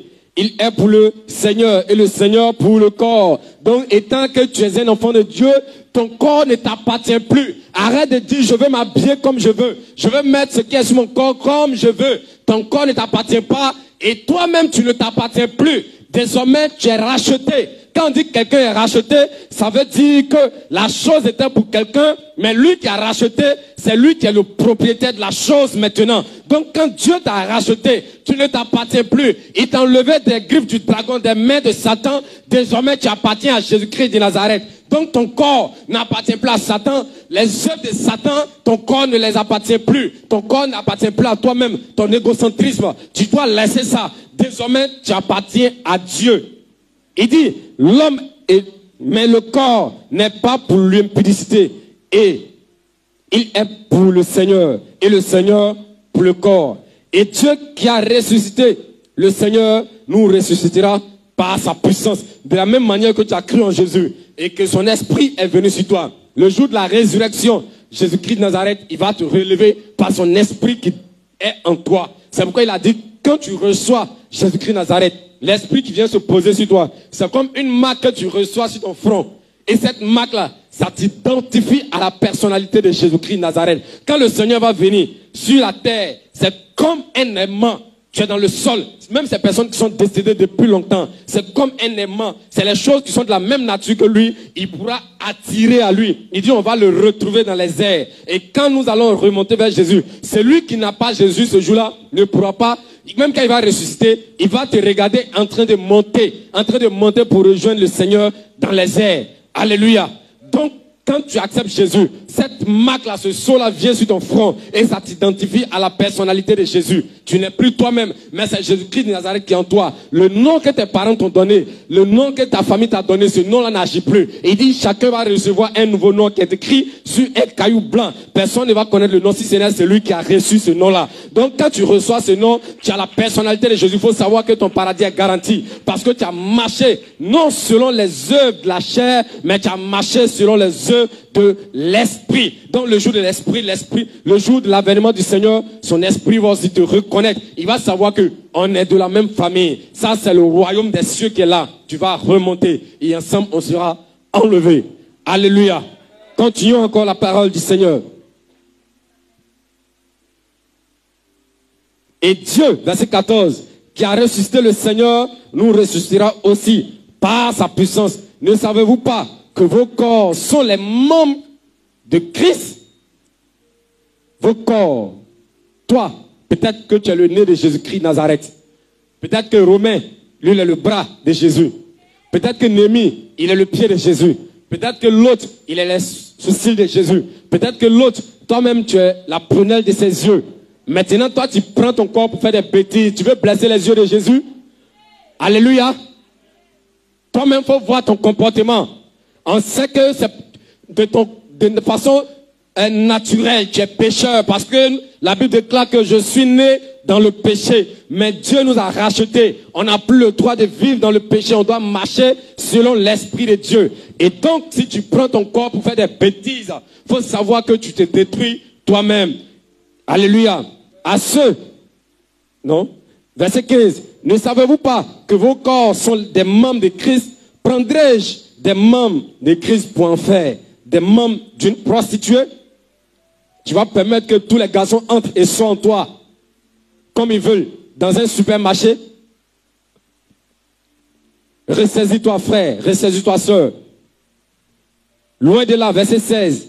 Ne savez-vous pas que celui qui s'attache à la prostituée est un seul corps avec elle? Dieu dit, tu vas rencontrer ta femme et vous deux, vous allez devenir une seule chair. Quand tu es en train de coucher avec une femme, tu fais une seule chair avec elle. Mais une fois que tu es en train de coucher avec une prostituée, toutes les personnes qui entrent en elle, qui sortent, c'est comme si tu es en train de coucher aussi avec eux. Alléluia. Il dit, prendrai-je les membres du corps de Christ pour en faire une prostituée? Continuons la méditation.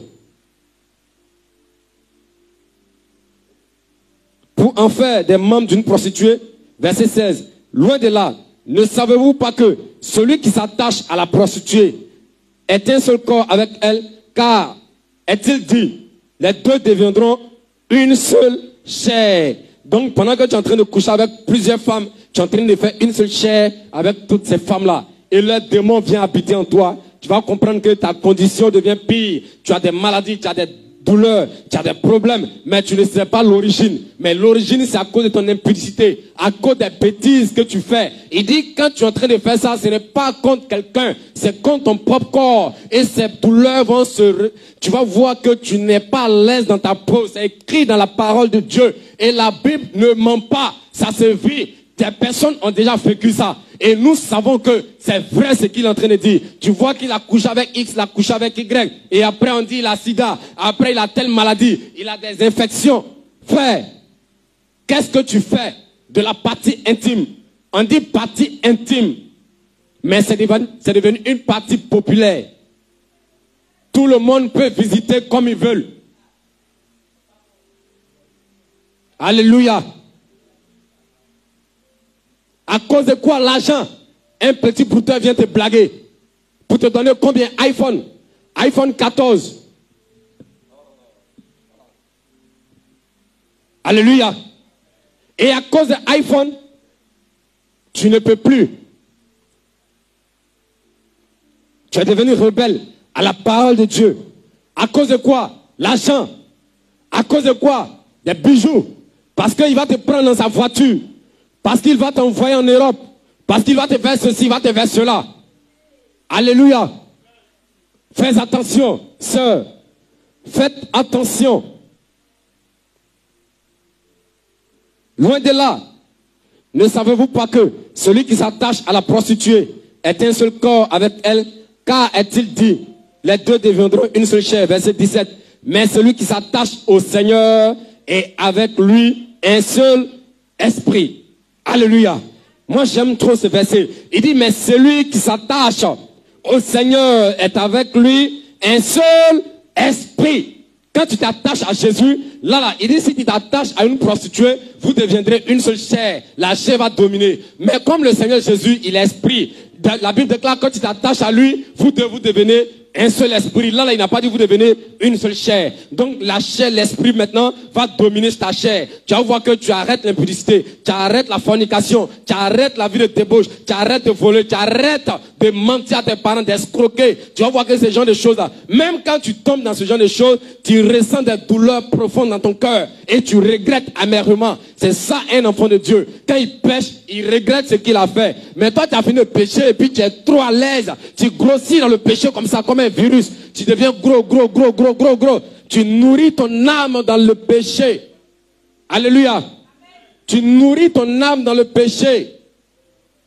Il y a des personnes qui sont en train de me regarder. Je ne suis pas en train de parler des personnes qui sont gros physiquement, qui sont grosses physiquement. Mais je parle des gens en qui le péché, quand je dis tu es devenu gros, le péché est devenu gros en toi. Alléluia. Ne me cherchez pas par là les gens ici. Alléluia.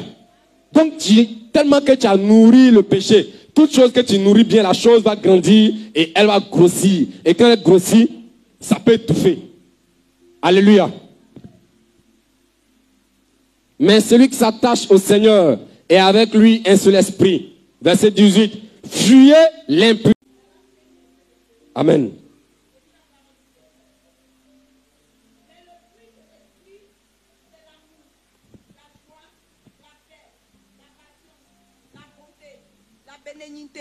Amen.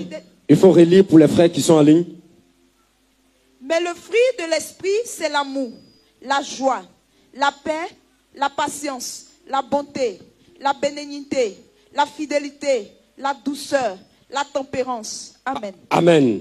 Il dit, mais le fruit de l'esprit, le fruit de l'esprit, une personne qui agit par l'esprit, tu n'as même pas, il dit, on les reconnaîtra par les fruits. Et voici les fruits que Dieu est en train de citer. Il dit l'amour. Toi, tu n'aimes pas ton frère, tu n'aimes pas ta soeur. Tu n'as pas l'esprit de Dieu.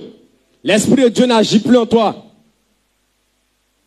Ton voisin, peu importe qui il est, tu dois l'aimer.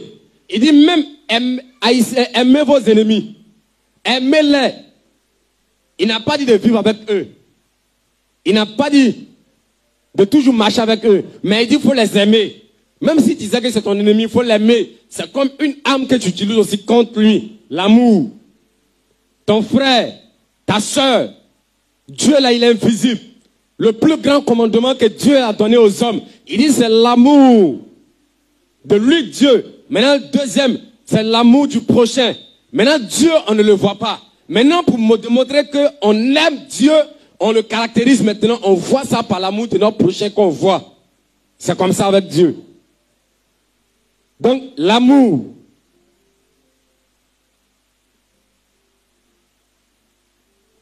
La joie. Soyez toujours joyeux. La paix. Il faut faire la paix avec tout le monde. La patience. Avant de prendre quoi que ce soit, il faut être patient. Tu arrives dans un coin, on dit tu t'en vas déposer dossier. Et puis tu n'as même pas de patience. On dit le directeur n'est pas venu parce qu'il est midi, tu le vois pas, tu as faim, tu t'en vas. Quand il va venir, ceux qui vont venir trouver à midi, il va les recevoir, et puis toi, tu as tapé poteau. Donc, quand quelqu'un a le fruit de l'esprit, il est patient. La bonté, il est bon avec les gens. Tout ce qui est bon. Il n'a pas dit la gentillesse, il dit la bonté. La, bénignité. Il bénit, il aime bénir. Il n'y a pas de mauvaise chose qui sort de sa bouche.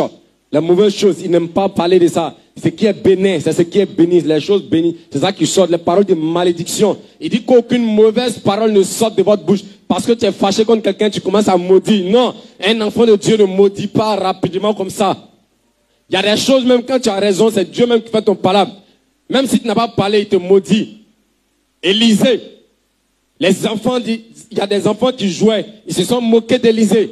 Ils disent tête chauve, tête chauve. Parce qu'Élisée, c'est un prophète, il, était chauve. Donc pendant qu'il est, en train de passer, les enfants se moquaient de lui en disant tête chauve, tête chauve. Élisée est parti, il les a regardés comme ça. Et puis il s'est retourné. La Bible déclare que Dieu a envoyé un animal. Il a dit quoi? Ours, non? C'est un ours. Dieu a envoyé l'ours, il a attrapé tous ses enfants pour les manger. Donc il y a des choses là, tu n'es pas obligé de déclarer de mauvaises paroles. Dieu même, il agit. Donc la bénignité. La bénignité. Les mauvaises paroles, on doit s'éloigner de tout. De tout. La fidélité. C'est dedans. Si tu es fidèle dans la petite chose, Dieu va te confier les grandes choses. Tu es fidèle dans la petite chose, Dieu va te confier les grandes choses. Tu n'es même pas fidèle à la femme que Dieu t'a donnée. Oh, il a dit, Marie, aimez vos femmes tu n'es même pas capable d'aimer cette femme que tu as. Frère, tu veux chercher autre. La fidélité. Il dit, sois fidèle. Sois fidèle. Dieu ne te permet pas de divorcer ta femme. Avant, en Israël, il disait, faut écrire une lettre. Mais quand Jésus-Christ de Nazareth est arrivé, il dit, tu n'as pas le droit de divorcer ta femme, sauf si elle a commis l'adultère. Ça, c'est l'impudicité qui peut te permettre de divorcer ta femme. Mais elle n'a rien fait. Tu trouves qu'elle est impolie elle fait ceci, elle ne te respecte pas. Non, on ne divorce pas une femme à cause d'impolitesse. On ne divorce pas une femme parce qu'elle t'a manqué respect. On ne divorce pas une femme parce qu'elle t'a fait quelque chose de mauvais. Jamais de la vie. Jamais. La seule condition qu'il a donnée, il dit, adultère. Et là, il dit, il faut être fidèle. La fidélité en toute chose. On t'a confié quelque chose, sois fidèle dedans. La douceur. Fais doux. Tout ce que tu fais là, on dirait ton sang s'agiter, on dirait de gauche à droite. Alléluia. Il faut apprendre la douceur parfois. Souvent, tu, as un caractère tellement dur. Quand les gens te voient, ils veulent fuir. Alléluia.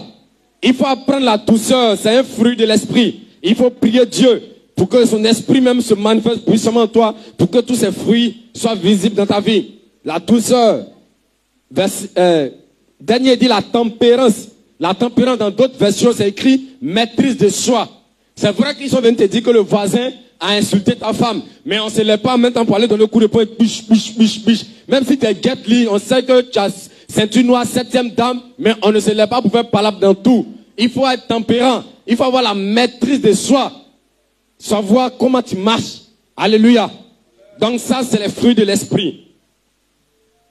Alléluia. Petit 3. Maintenant, que faire pour que l'Esprit de Dieu domine sur notre chair? Que faire?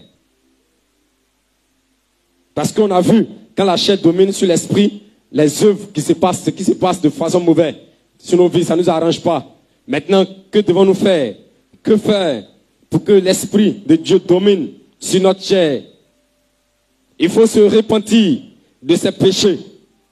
Se repentir de ses péchés. Premier point, se repentir de ses péchés. Tout en acceptant d'être converti réellement.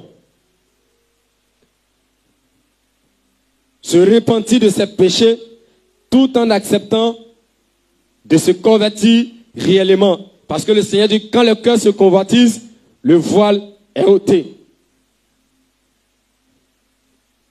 se repentir de ses péchés en acceptant d'être converti réellement. Quand euh, Pierre prêchait, le premier jour, le jour où il y a eu euh, 3000 convertis, il a dit, quand ils ont posé question à Pierre, ils disent, que devons-nous faire, homme frère Il dit que chacun de vous se repente de ses péchés et qu'il se fait baptiser. Donc, le deuxième point, se faire baptiser au nom de Jésus-Christ. Se faire baptiser au nom de Jésus-Christ. Se faire baptiser au nom de Jésus. Acte 2, verset 38. Acte 2, verset 38.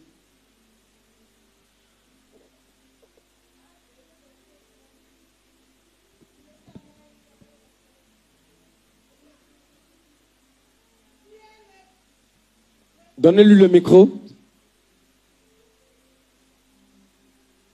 Acte 2, verset 38. Acte 2, verset 38. Je lis la parole de Dieu avec respect et considération. Pierre leur dit, répentez-vous et que chacun de vous soit baptisé au nom de Jésus-Christ pour le pardon de vos péchés et vous recevrez le don du Saint-Esprit. Amen. Alléluia. Il dit, répentez-vous et que chacun de vous soit baptisé au nom de Jésus-Christ pour le pardon de vos péchés et vous recevrez le don du Saint-Esprit. Donc il y a une condition pour recevoir le don du Saint-Esprit. Il y a des personnes qui sont là et disent que non, bon, je me suis converti, je me suis baptisé, je suis chrétien, je viens à l'église, mais je n'ai pas reçu le don du Saint-Esprit. Est-ce que tu t'es repenti? Parce que pour recevoir le baptême du Saint-Esprit, il faut se repentir. C'est un chemin obligatoire pour être baptisé du Saint-Esprit. Donc, même si tu es repenti réellement, réellement, avant même qu'ils vont plonger, ils vont te plonger dans l'eau, tu peux recevoir le baptême du Saint-Esprit avant même que tu vas recevoir le baptême de Jean-Baptiste, qu'on appelle le baptême d'eau. Alléluia. Donc, il faut aussi s'attacher. C'est quel point? Troisième, s'attacher au Seigneur Jésus-Christ. S'attacher au Seigneur Jésus-Christ. Pour que son esprit puisse agir en toi, il faut t'attacher au Seigneur Jésus-Christ. Acte 2, verset 38. Acte 2, on a déjà lu ça. Et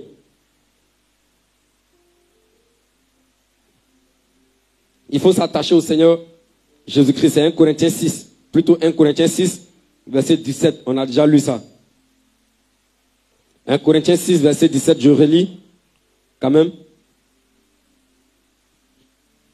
Mais celui qui s'attache au Seigneur Jésus est avec lui un seul esprit. Donc quand tu deviens un seul esprit avec Jésus, son esprit maintenant va te diriger, va te conduire. Maintenant, quand il va te conduire, tu vas voir que ton âme va plus répondre aux œuvres de la chair. Tu vas voir que ton corps ne répond plus aux œuvres de la chair, mais sera connecté de façon perpétuelle à l'esprit de Dieu. Alléluia.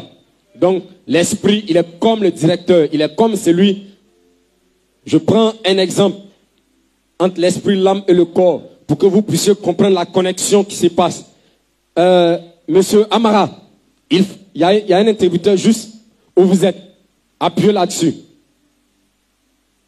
L'interrupteur qui est sur le bois vert. Appuyez. Voilà. Quelqu'un n'a qu'à s'arrêter à côté. Qu'est-ce qui s'est passé quand il, a, quand appuyé? Voilà. La lumière, les lampes se sont éteintes. Rallume. Donc, quelqu'un comprend quelque chose? C'est comme si celui qui dirige, celui qui permet que la lumière soit visible devant nous, c'est l'interrupteur. Il faut qu'il appuie sur l'interrupteur pour que les lampes s'allument. Maintenant, de l'interrupteur, pour arriver à la lampe, il y a les fils de courant qui sont là. Et le courant qui se passe, le courant qui circule pour arriver aux lampes. Donc, c'est comme si l'interrupteur joue le rôle de l'esprit, qui est comme le directeur. Maintenant, les fils d'électricité jouent le rôle de l'âme. C'est comme s'il est au milieu. Et sans l'âme, tu vas voir que les lampes n'allaient pas s'allumer et puis on allait voir. Donc, c'est ce qui se passe depuis l'interrupteur passe dans le fil du courant et qui arrive maintenant devant nous et puis on voit. Donc c'est comme ça quand l'Esprit de Dieu vient t'habiter, ça se passe sur ton esprit et ça passe dans l'âme. Maintenant, ça agit maintenant physiquement. Donc quand l'Esprit de Dieu vient t'habiter de façon physique, tu vois que tu marches comme Jésus-Christ de Nazareth. Alléluia. Donc si j'ai pris cet exemple, quelqu'un comprend maintenant? Ok. Donc s'attacher à Jésus, à Jésus-Christ. 1 Corinthiens 6, verset 17.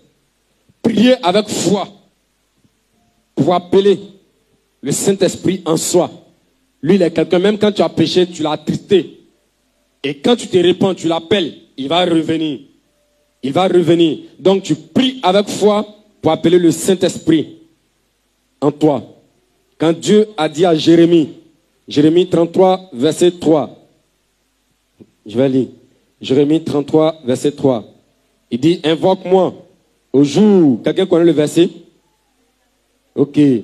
Jérémie 33, invoque-moi au jour de la détresse et je te répondrai. Alléluia. Invoque-moi et je te répondrai. Je t'annoncerai les grandes choses, des choses cachées que tu ne connais pas. Ça, c'est la parole du Seigneur à Jérémie. Il dit, il faut l'invoquer. Mais comment il va révéler ça à Jérémie? C'est par son esprit. Donc, quand tu invoques l'esprit de Jésus-Christ Nazareth, il vient habiter en toi, et puis il va commencer à te révéler encore des choses. C'est pour ceux qui ont perdu la présence de Dieu. Appelle-le, invoque-le. Tu es dans la détresse, tu es dans les souffrances, tu es dans les problèmes. Invoque le Saint-Esprit. Il va venir agir en toi. Tu vas voir qu'il y a beaucoup de choses qui vont changer. Alléluia. Donc, je pense que c'est là que prend fin mon message. On acclame encore puissamment la parole du Seigneur.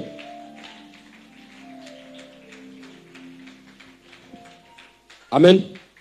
On va prier un peu. Chacun va rentrer en lui-même en prenant une position d'humilité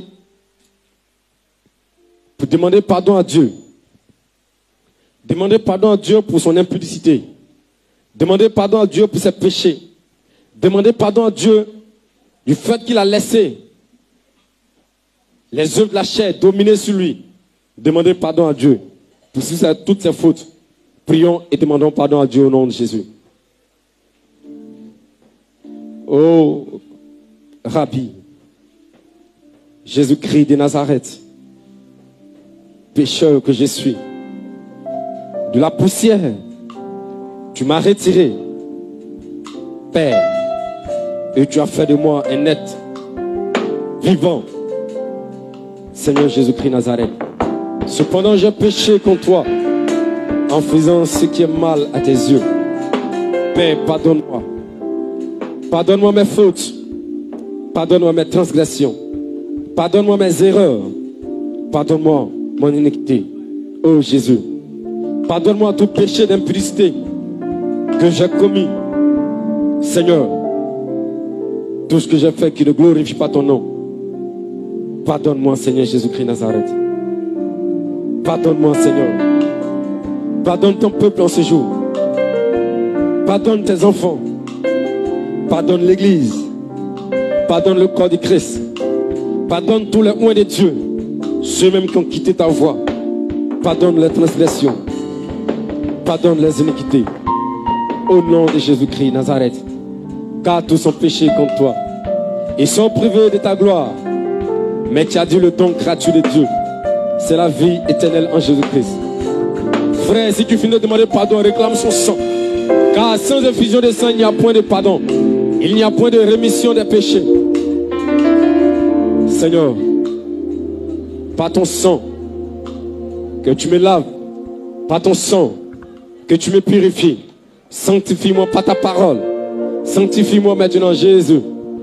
Ô roi de gloire, car nous avons péché contre toi en faisant ce qui a mal à tes yeux. Ô roi de gloire, que ton sang qui a ruisselé sur la croix de Golgotha pour la rémission de nos péchés, viens extirper maintenant, viens enlever, viens ôter tous nos péchés en ce jour. Au nom puissant de Jésus-Christ Nazareth. Au nom de Jésus. Amen. Tu vas te tenir debout.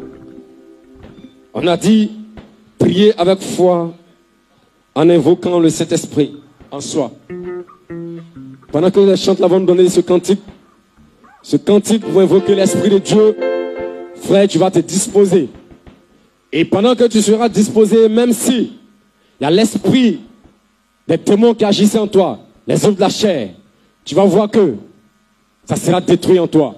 Quand tu vas appeler l'Esprit de Dieu, tu seras délivré. Tu vas chanter ce cantique. Quand il descend, oui, tout s'arrête.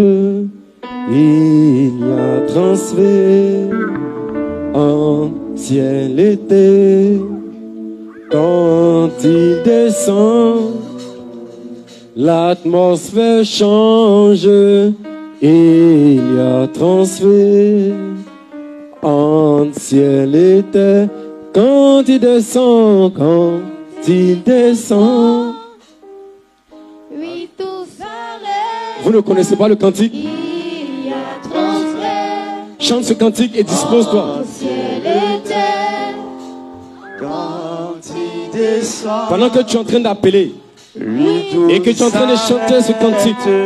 si vraiment l'Esprit de Dieu descend, quand on l'appelle, tu vas voir qu'il va descendre.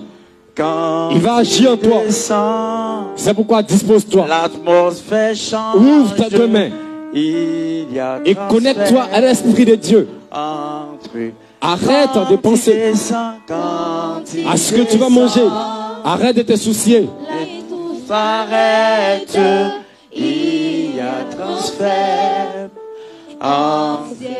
quand il descend, Quand il descend, l'atmosphère change, il y a transfert en ciel le Saint-Esprit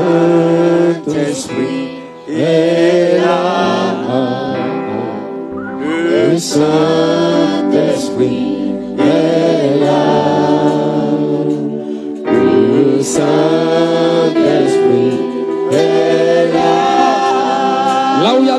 personnes, il est présent. le Saint-Esprit est là,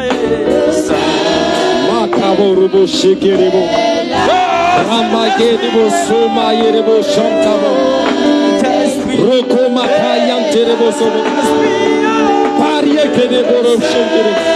Mariebo sobo kabayebo shekirebo. Roko sobo descend, Roko masankaraba l'atmosphère shekere. change, Le Dieu qui est capable de changer la vie. Le Dieu qui fait de la terre son marche-pied et du ciel son trône.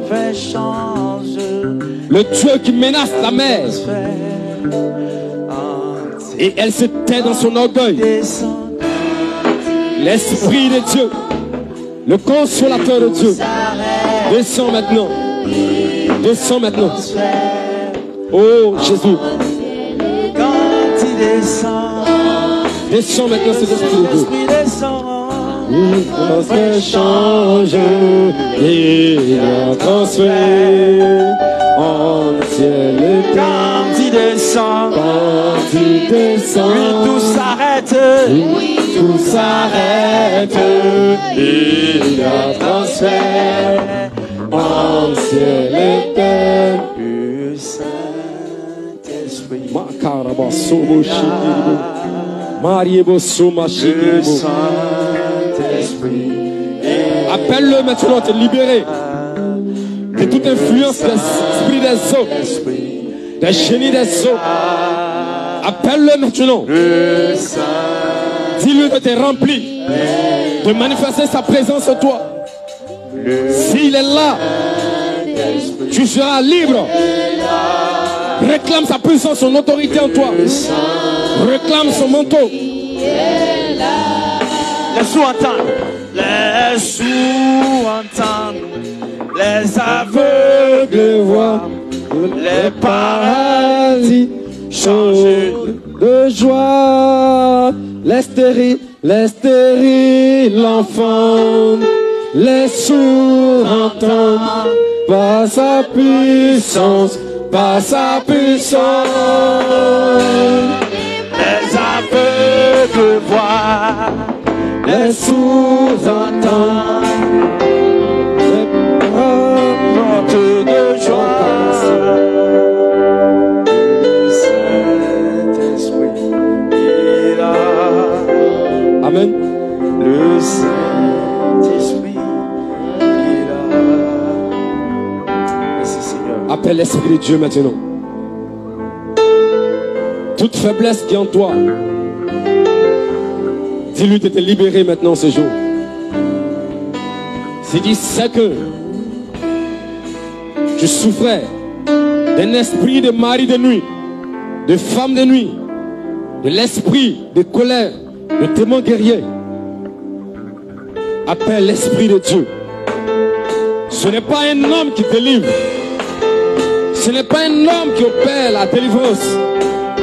Mais quand l'Esprit de Dieu descend dans un lieu,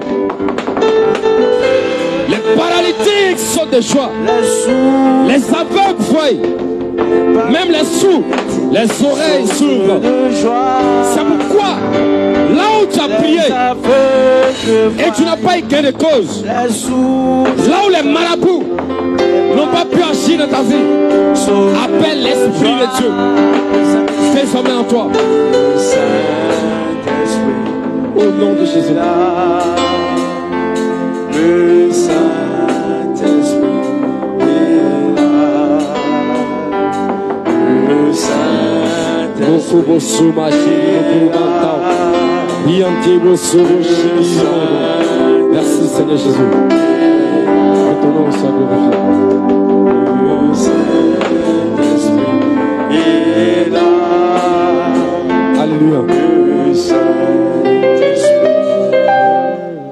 Avec moi, Saint-Esprit de Dieu, en ce jour, c'est ton jour.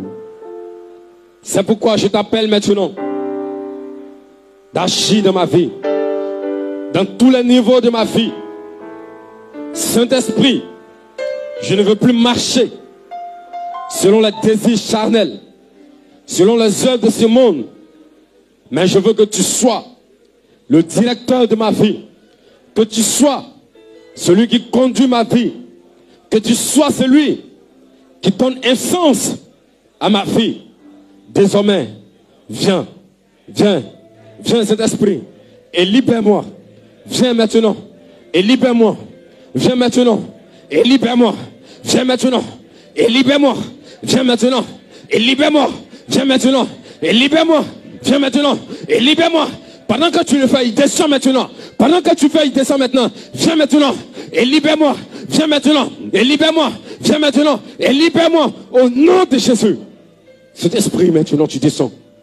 Tu descends maintenant. Par ton onction de feu, de puissance. Manifeste ta puissance maintenant. Manifeste ton autorité dans ce lieu. Nom de Jésus. Tu libères maintenant. Tu libères maintenant. Tu libères maintenant. Tu libères maintenant. Tu libères maintenant. Tu libères maintenant. Tu libères maintenant. Par notre Jésus. Makabase kebo shaka brown. Rabashaka riantao. Rokobo shanantao. Reke rabosoma yawa sheki. Mokobo soba. Frère, invoque-le maintenant, il va te toucher. Même si c'est ta première fois, il va descendre dans ta vie. Même si tu n'as jamais parlé en langue, il va descendre en ce jour. Appelle-le maintenant, appelle-le maintenant, appelle l'Esprit de Dieu, appelle sa puissance. Marabache kerebo, robo soma chao, makabaso. Descends maintenant cet esprit. Descends maintenant. Descends maintenant. Descends maintenant. Descends maintenant. Descends maintenant. Descends maintenant. Manifeste ton autorité. Comme le jour de la Pentecôte. Que ton feu descende maintenant. Makabaso boshi. Riki devoso macham. moi Riki devoso macham. des devoso. Ah, Merci Que ton onction descende shekeribo. sur moi, sur moi, je suis disposé Makabase. que ton Oh, qui es-tu? onction Jésus-Christ de Nazareth. Ah, Mon âme veut t'adorer. Mon âme veut te lever. Mon âme veut t'exalter. Mon âme veut te célébrer. Mon âme veut te glorifier. Oh, qui es-tu, Jésus?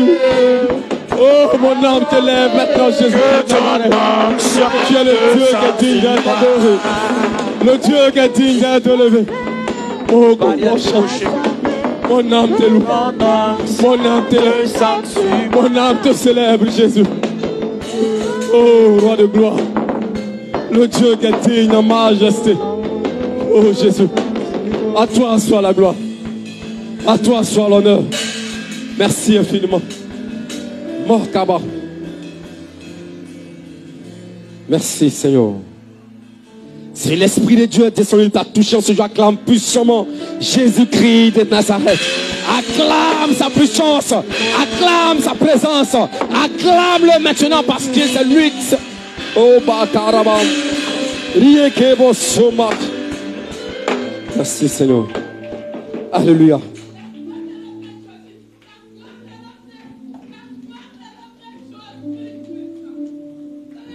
Chaka d'avant. Robo soma shekiribo. Rinkiribo soma chant. Merci.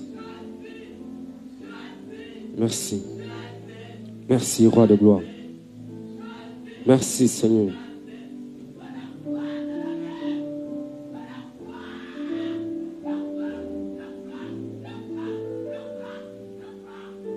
L'agneau qui a été immolé, devant qui les 24 vieillards jettent les couronnes et se prosternent devant l'agneau de Dieu et crient Saint, Saint, Saint est l'éternel des armées. Merci pour ta grandeur. Merci Saint-Esprit. Merci. Alléluia. Amen. On va s'asseoir dans la présence du Seigneur et prendre les passages de la semaine.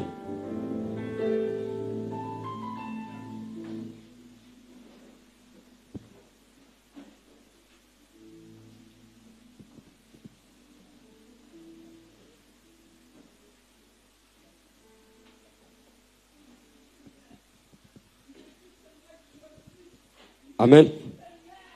Passage de la semaine. Lévitique 20. Josué 7.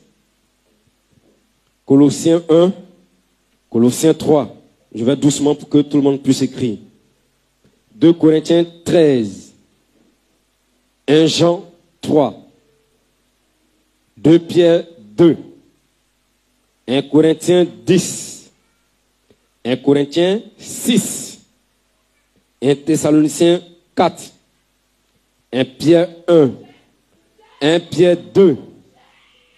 Lévitique 17.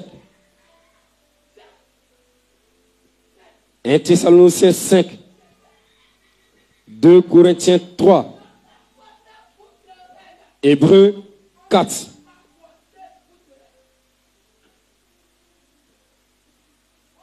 Je reprends une dernière fois les passages de la semaine. Lévitique 20, Josué 7, Colossiens 1, Colossiens 1, Colossiens 3, 2 Corinthiens 13, 1 Jean 3, 2 Pierre 2, 1 Corinthiens 10, 1 Corinthiens 6, 1 Thessaloniciens 4, 1 Pierre 1, 1 Pierre 2, Lévitique 17, 1 Thessaloniciens 5, 2 Corinthiens 3, Hébreux 4, Psaume de la semaine. Psaume 143, cumulé au psaume 32. Psaume 143 et le psaume 32. On le fait deux fois chaque matin, une fois chaque midi et deux fois chaque soir. Quand tu finis de prier, tu fais, et avant de prier, pendant la prière, tu fais ces psaumes-là. Psaume 143 et le psaume, il dit 143 et le psaume 32. Deux fois matin, une fois à midi et deux fois le soir. Et deux fois le soir. Ok, donc si quelqu'un a son offrande en ce jour, tu vas prendre ton offrande en ce jour. Et tu vas sceller le culte de ce jour. L'Esprit de Dieu, la puissance de Dieu que tu as reçue en ce jour. Tu vas dire à Dieu que désormais tu ne veux plus vivre selon toi-même, tes propres œuvres, mais que désormais tu vas être conduit par l'Esprit de vérité. Prends ton offrande et prie maintenant au nom puissant de Jésus. Éternel Dieu des armées, Seigneur Jésus-Christ Nazareth, au travers les offrandes que nous t'apportons ce jour. Merci Seigneur Jésus-Christ Nazareth de sceller ton sceau, ton esprit de vérité sur nos vies. Afin que, Seigneur, nous ne tombions dans la tentation, afin que nous ne marchions selon les désirs charnels, mais que nous soyons toujours conduits depuis notre existence sur terre, que nous soyons toujours conduits par toi, Jésus-Christ Nazareth. À travers cette offrande que nous t'apportons, nous venons sceller le culte de ce jour, cette fois dans ton sang, au nom puissant de Jésus-Christ Nazareth. Amen. Tu peux apporter ton offrande au nom de Jésus.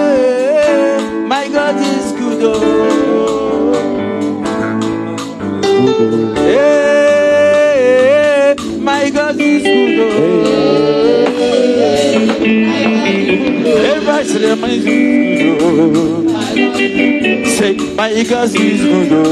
My God is good. Ah, my God is good. My God is good. Ah, yeah, my God is good. My God is good. Yeah.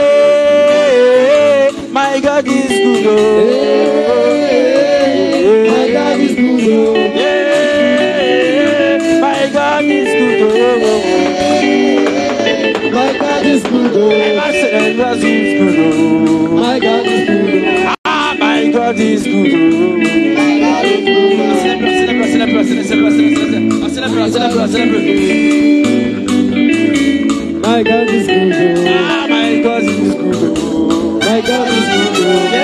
because he's good. My God is good. Yeah.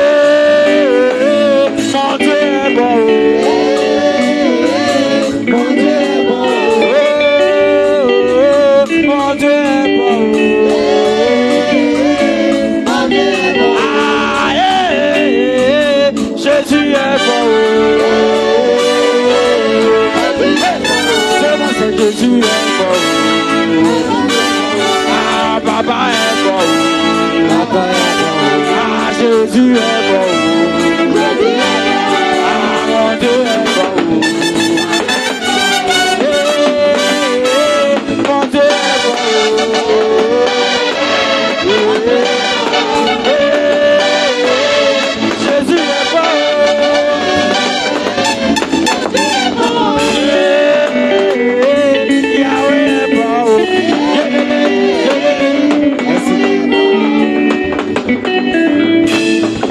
Alléluia. Waouh. Jésus est vraiment bon. Alléluia. Si tu as porté ta dîme, tu prends ta dîme, tu tiens debout, tu te tiens debout et tu soulèves ta dîme. Ensemble, on va prier pour les dîmes. Éternel Dieu, Jésus-Christ de Nazareth, je t'apporte en ce jour. Tu répètes la prière avec moi. Je, t'apporte en ce jour le un dixième de mes revenus conformément à ta parole. Père, je te prie maintenant que sur la base de cette dîme que je t'apporte, que toutes ces personnes qui vont se lever contre mes finances, qu'ils rencontrent sur leur chemin le lion de la tribu de Judas. Père, que jamais rien ne manque dans ma maison au nom de Jésus. Au nom de Jésus. Au nom de Jésus. Cet esprit, tu passes maintenant par ta main puissante et tu saisis la dîme de tes enfants. Qu'il t'apporte en ce jour. Fais-le, Père, pour la gloire de ton nom. Fais-le pour la gloire de ton nom. Au nom de Jésus. Amen. Ok, on acclame. Tu es le Dieu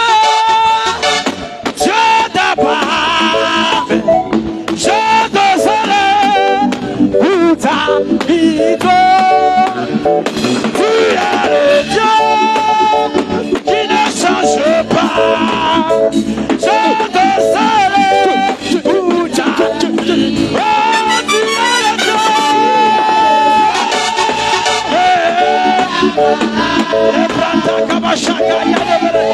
Olobroka babasaka. Tu es le Dieu. Amen, amen, amen, amen, amen, amen.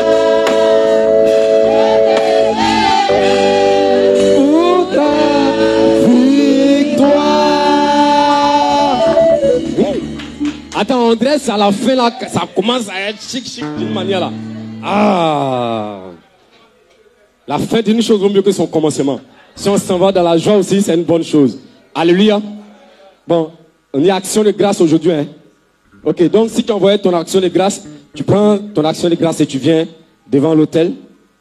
On va prier ensemble pour les actions de grâce. Si tu ne t'es pas informé, c'est pas grave. Le dimanche prochain, ceux qui n'ont pas pu envoyer aujourd'hui peuvent envoyer leur action de grâce le dimanche prochain.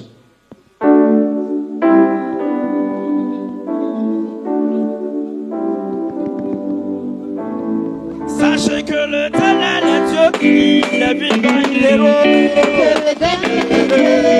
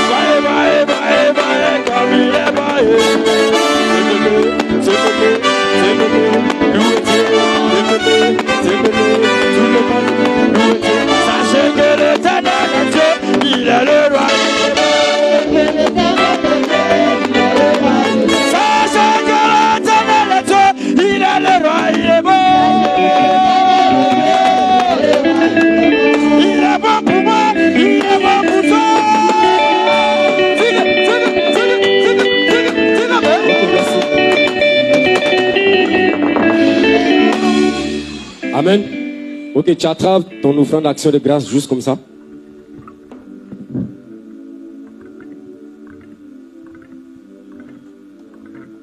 Ok, dites avec moi, Seigneur Jésus, tu as dit dans ta parole, apportez à la maison de l'Éternel vos dîmes, vos offrandes, vos actions de grâce, afin qu'il ne manque point de nourriture dans ma maison. Seigneur Jésus-Christ Nazareth, en ce jour, c'est le jour des actions de grâce. Je t'apporte ma participation, Père éternel Dieu, de la même manière que tu t'es souvenu de la veuve de Sarepta, l'huile et la farine n'a jamais manqué dans sa maison, quand bien même il y avait la famine.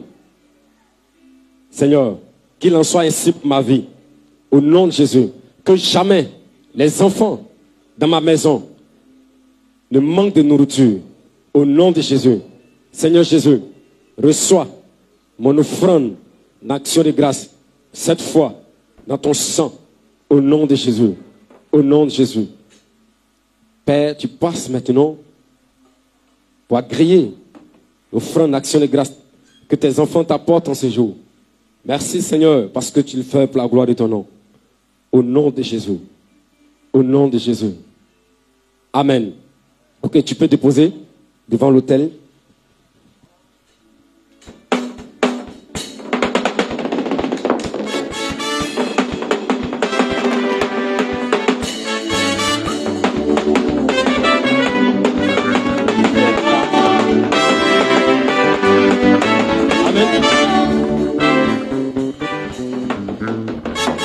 Ok, une information.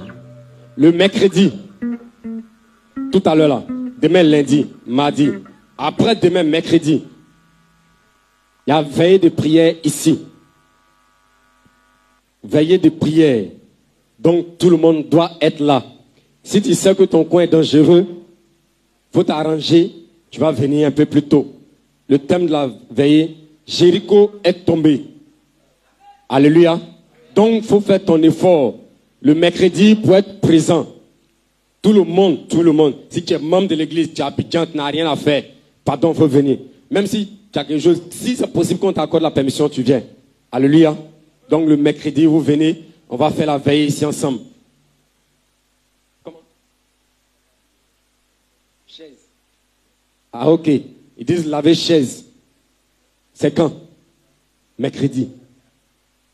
Ok, donc le mercredi matin aussi, ah, la veille, ça c'est pour la nuit. Matin, ceux qui n'ont rien à faire à la maison, pardonnez, venez. Et puis, sur ce côté-là même, je voulais parler. hein. Il y a des personnes, quand on parle de laver chaise là, souvent là, tu as couché à la maison, on ne te voit pas, hein, jamais de la vie. Toi-même, il faut regarder, non? Lui qui est venu, et puis il est venu laver chaise. Toi, tu es venu t'asseoir dedans. Quand Dieu est en train de bénir, tu penses que lui qui est venu laver ta chaise là, et puis toi tu es assis dedans, il va te le laisser pour te bénir avant. Donc fais au moins un effort. Quand il vient à deux personnes, toutes les chaises, ils vont laver jusqu'à... Toi-même, il faut voir. Quand on est en train de faire ça, il ne faut pas penser qu'on fait ça pour quelqu'un. C'est pour le Seigneur. Quand tu viens, toi-même, tu es assis dedans. Tu dis, ah, les chaises, là, c'est propre. Hein. Mais demain, quand tu vas venir voir les chaises, il y a tache, tache, tache dessus, là. C'est toi-même, tu allais dire là-bas, là, mais ils sont trop sales. Il y a les chaises, là. Maintenant, qui n'a qu'à laver? Dieu ne va pas descendre ici pour venir laver les chaises, là. Donc, fais un effort. Si tu n'as rien à faire, il y a des personnes qui sont super occupées. Je ne parle pas de ça. Mais si tu sais que tu es à la maison, en âme et conscience, tu n'as rien à faire. Tu viens faire quelque chose dans la maison du Seigneur. C'est ça, on dit servir Dieu aussi. C'est pas faire de passion, on dit que tu es serviteur de Dieu. Même tu es en train de balayer, c'est servir Dieu. Maintenant, Dieu dit, l'ouvrier mérite son salaire. Même si c'est un coup de balai seulement que tu as fait, il y a salaire de ça aussi. Donc tu es venu laver chaise, il y a ton salaire qui est là. Le pasteur, lui, va relâcher la bénédiction. Maintenant, c'est à Dieu d'agréer si toi, tu dois recevoir la bénédiction bien ne pas recevoir. Dieu, là, il n'agit pas comme ça.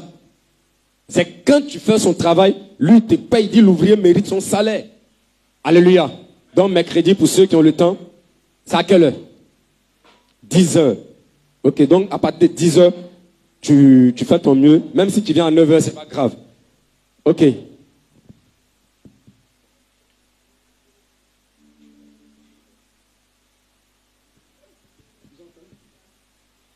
Ok, il dit d'insister sur veille là. Donc j'insiste. J'insiste. Veille là. Pardon, il faut faire ton mieux, tu vas venir. C'est parce que si tu vois qu'il a dit ça là, c'est parce qu'il sait qu'il y a d'autres là, ils vont dormir. Ils font rien, mais ils vont dormir à la maison. Ils ne vont pas venir prier. Jésus a dit veillez et priez. Quand on a lu verset là, il n'a pas dit ça. Il a dit ça. Donc, veillons et priez. Et prions. Donc, mercredi, soir, faut être là. Même avant 21h, même tu peux être là. C'est à 3h. C'est à 3h30, non? Je n'ai pas lu toute la fiche. C'est que c'est jusqu'à 3h30 par là, on va finir. On va pas arriver jusqu'à 7h, non. Donc si tu dois aller au travail, tu peux venir, tu dors bien, ou bien tu quittes là, tu viens, tu dors un peu. Dès qu'il est l'heure, tu vas voir qu'on va te réveiller, on prie. Donc quand on finit, tu t'en vas directement à ton travail. Alléluia. Donc fais un effort. À partir de 22h, il faut être là. Jusqu'à 3h30 par là, je pense qu'on pourra finir. Ok.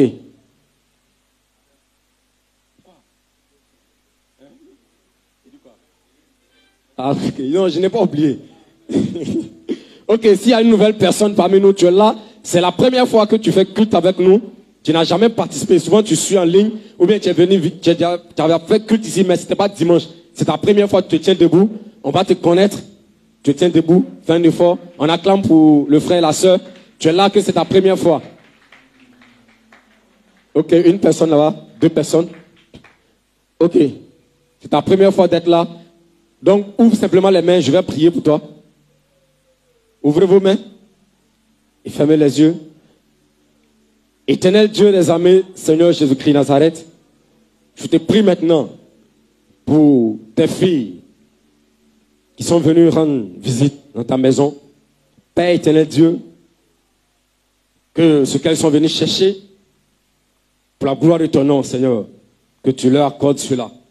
Et que, Seigneur, tout ce que le diable va tenter de faire pour arracher la parole de Dieu qui a été sémée en leur cœur en ce jour, que tout cela soit détruit, que désormais la parole de Dieu porte des fruits dans leur vie et que désormais ils marchent dans la sainteté, dans la pureté et dans la sanctification parfaite. Merci Seigneur de leur accorder tous les désirs ardents de leur cœur au nom puissant de Jésus. Amen. Amen. Tout à l'heure, quand on va finir sous la bâche là, vous allez attendre, on va échanger avec vous pour prendre certaines informations un peu et puis vous donner quelque chose à boire. Ok, donc vous pouvez vous asseoir. Bon, on se lève tous, on va prier, dire merci à Dieu pour la fin de ce culte. Éternel Dieu des armées, nous te disons merci. Nous bénissons ton Saint-Nom pour le culte de ce jour. Que ton nom soit glorifié, que ton nom soit exalté pour cela au nom de Jésus. Amen. On se couvre par le sang de Jésus.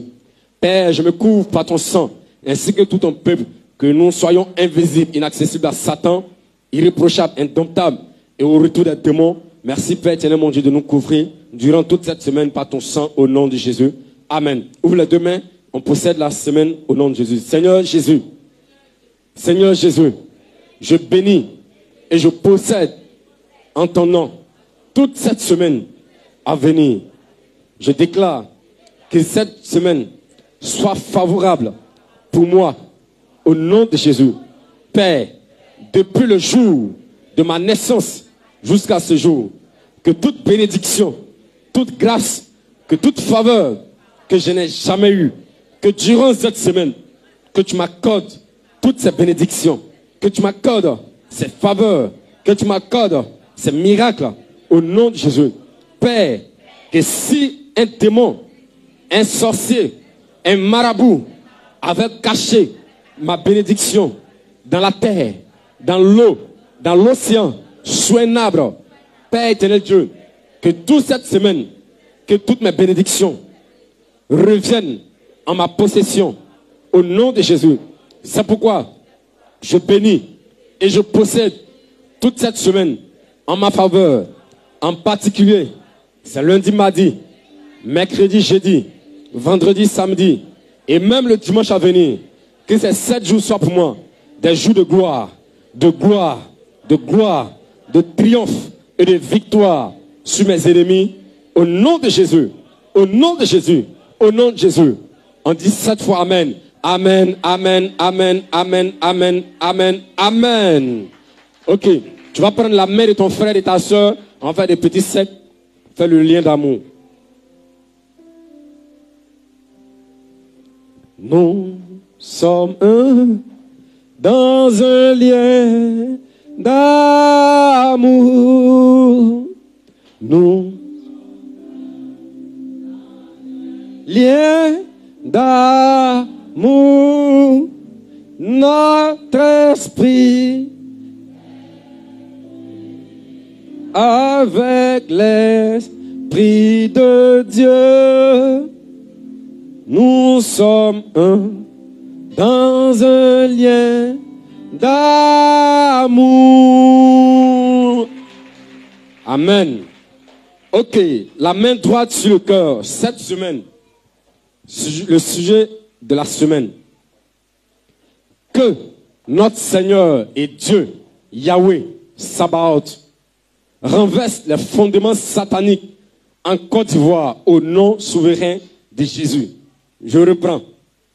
Que notre Seigneur et Dieu, Yahweh, Sabaoth, renverse les fondements sataniques en Côte d'Ivoire au nom souverain de Jésus Christ. Je répète une troisième et dernière fois.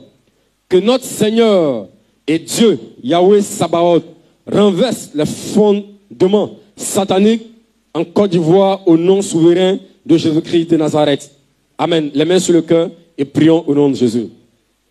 Éternel Dieu des armées, nous te prions maintenant sur la base de ta parole. Père éternel Dieu, que toute fondation, tout fondement qui a été fait, Seigneur, sur des bases sataniques, maçonniques, Père éternel Dieu, que tout soit détruit maintenant, que ces fondements soient renversés, ébranlés, au nom puissant de Jésus-Christ de Nazareth. Père éternel Dieu, au nom puissant, au nom souverain de Jésus-Christ Nazareth, que tous ces fondements, ces hôtels sataniques, partout dans le monde entier, soient renversés au nom de notre Seigneur glorieux Jésus-Christ de Nazareth. Amen. Alléluia. Ok, on va faire le psaume 23, les mains ouvertes, les yeux fermés. 3, 2, 1, go. L'éternel est mon berger, je ne manquerai de rien.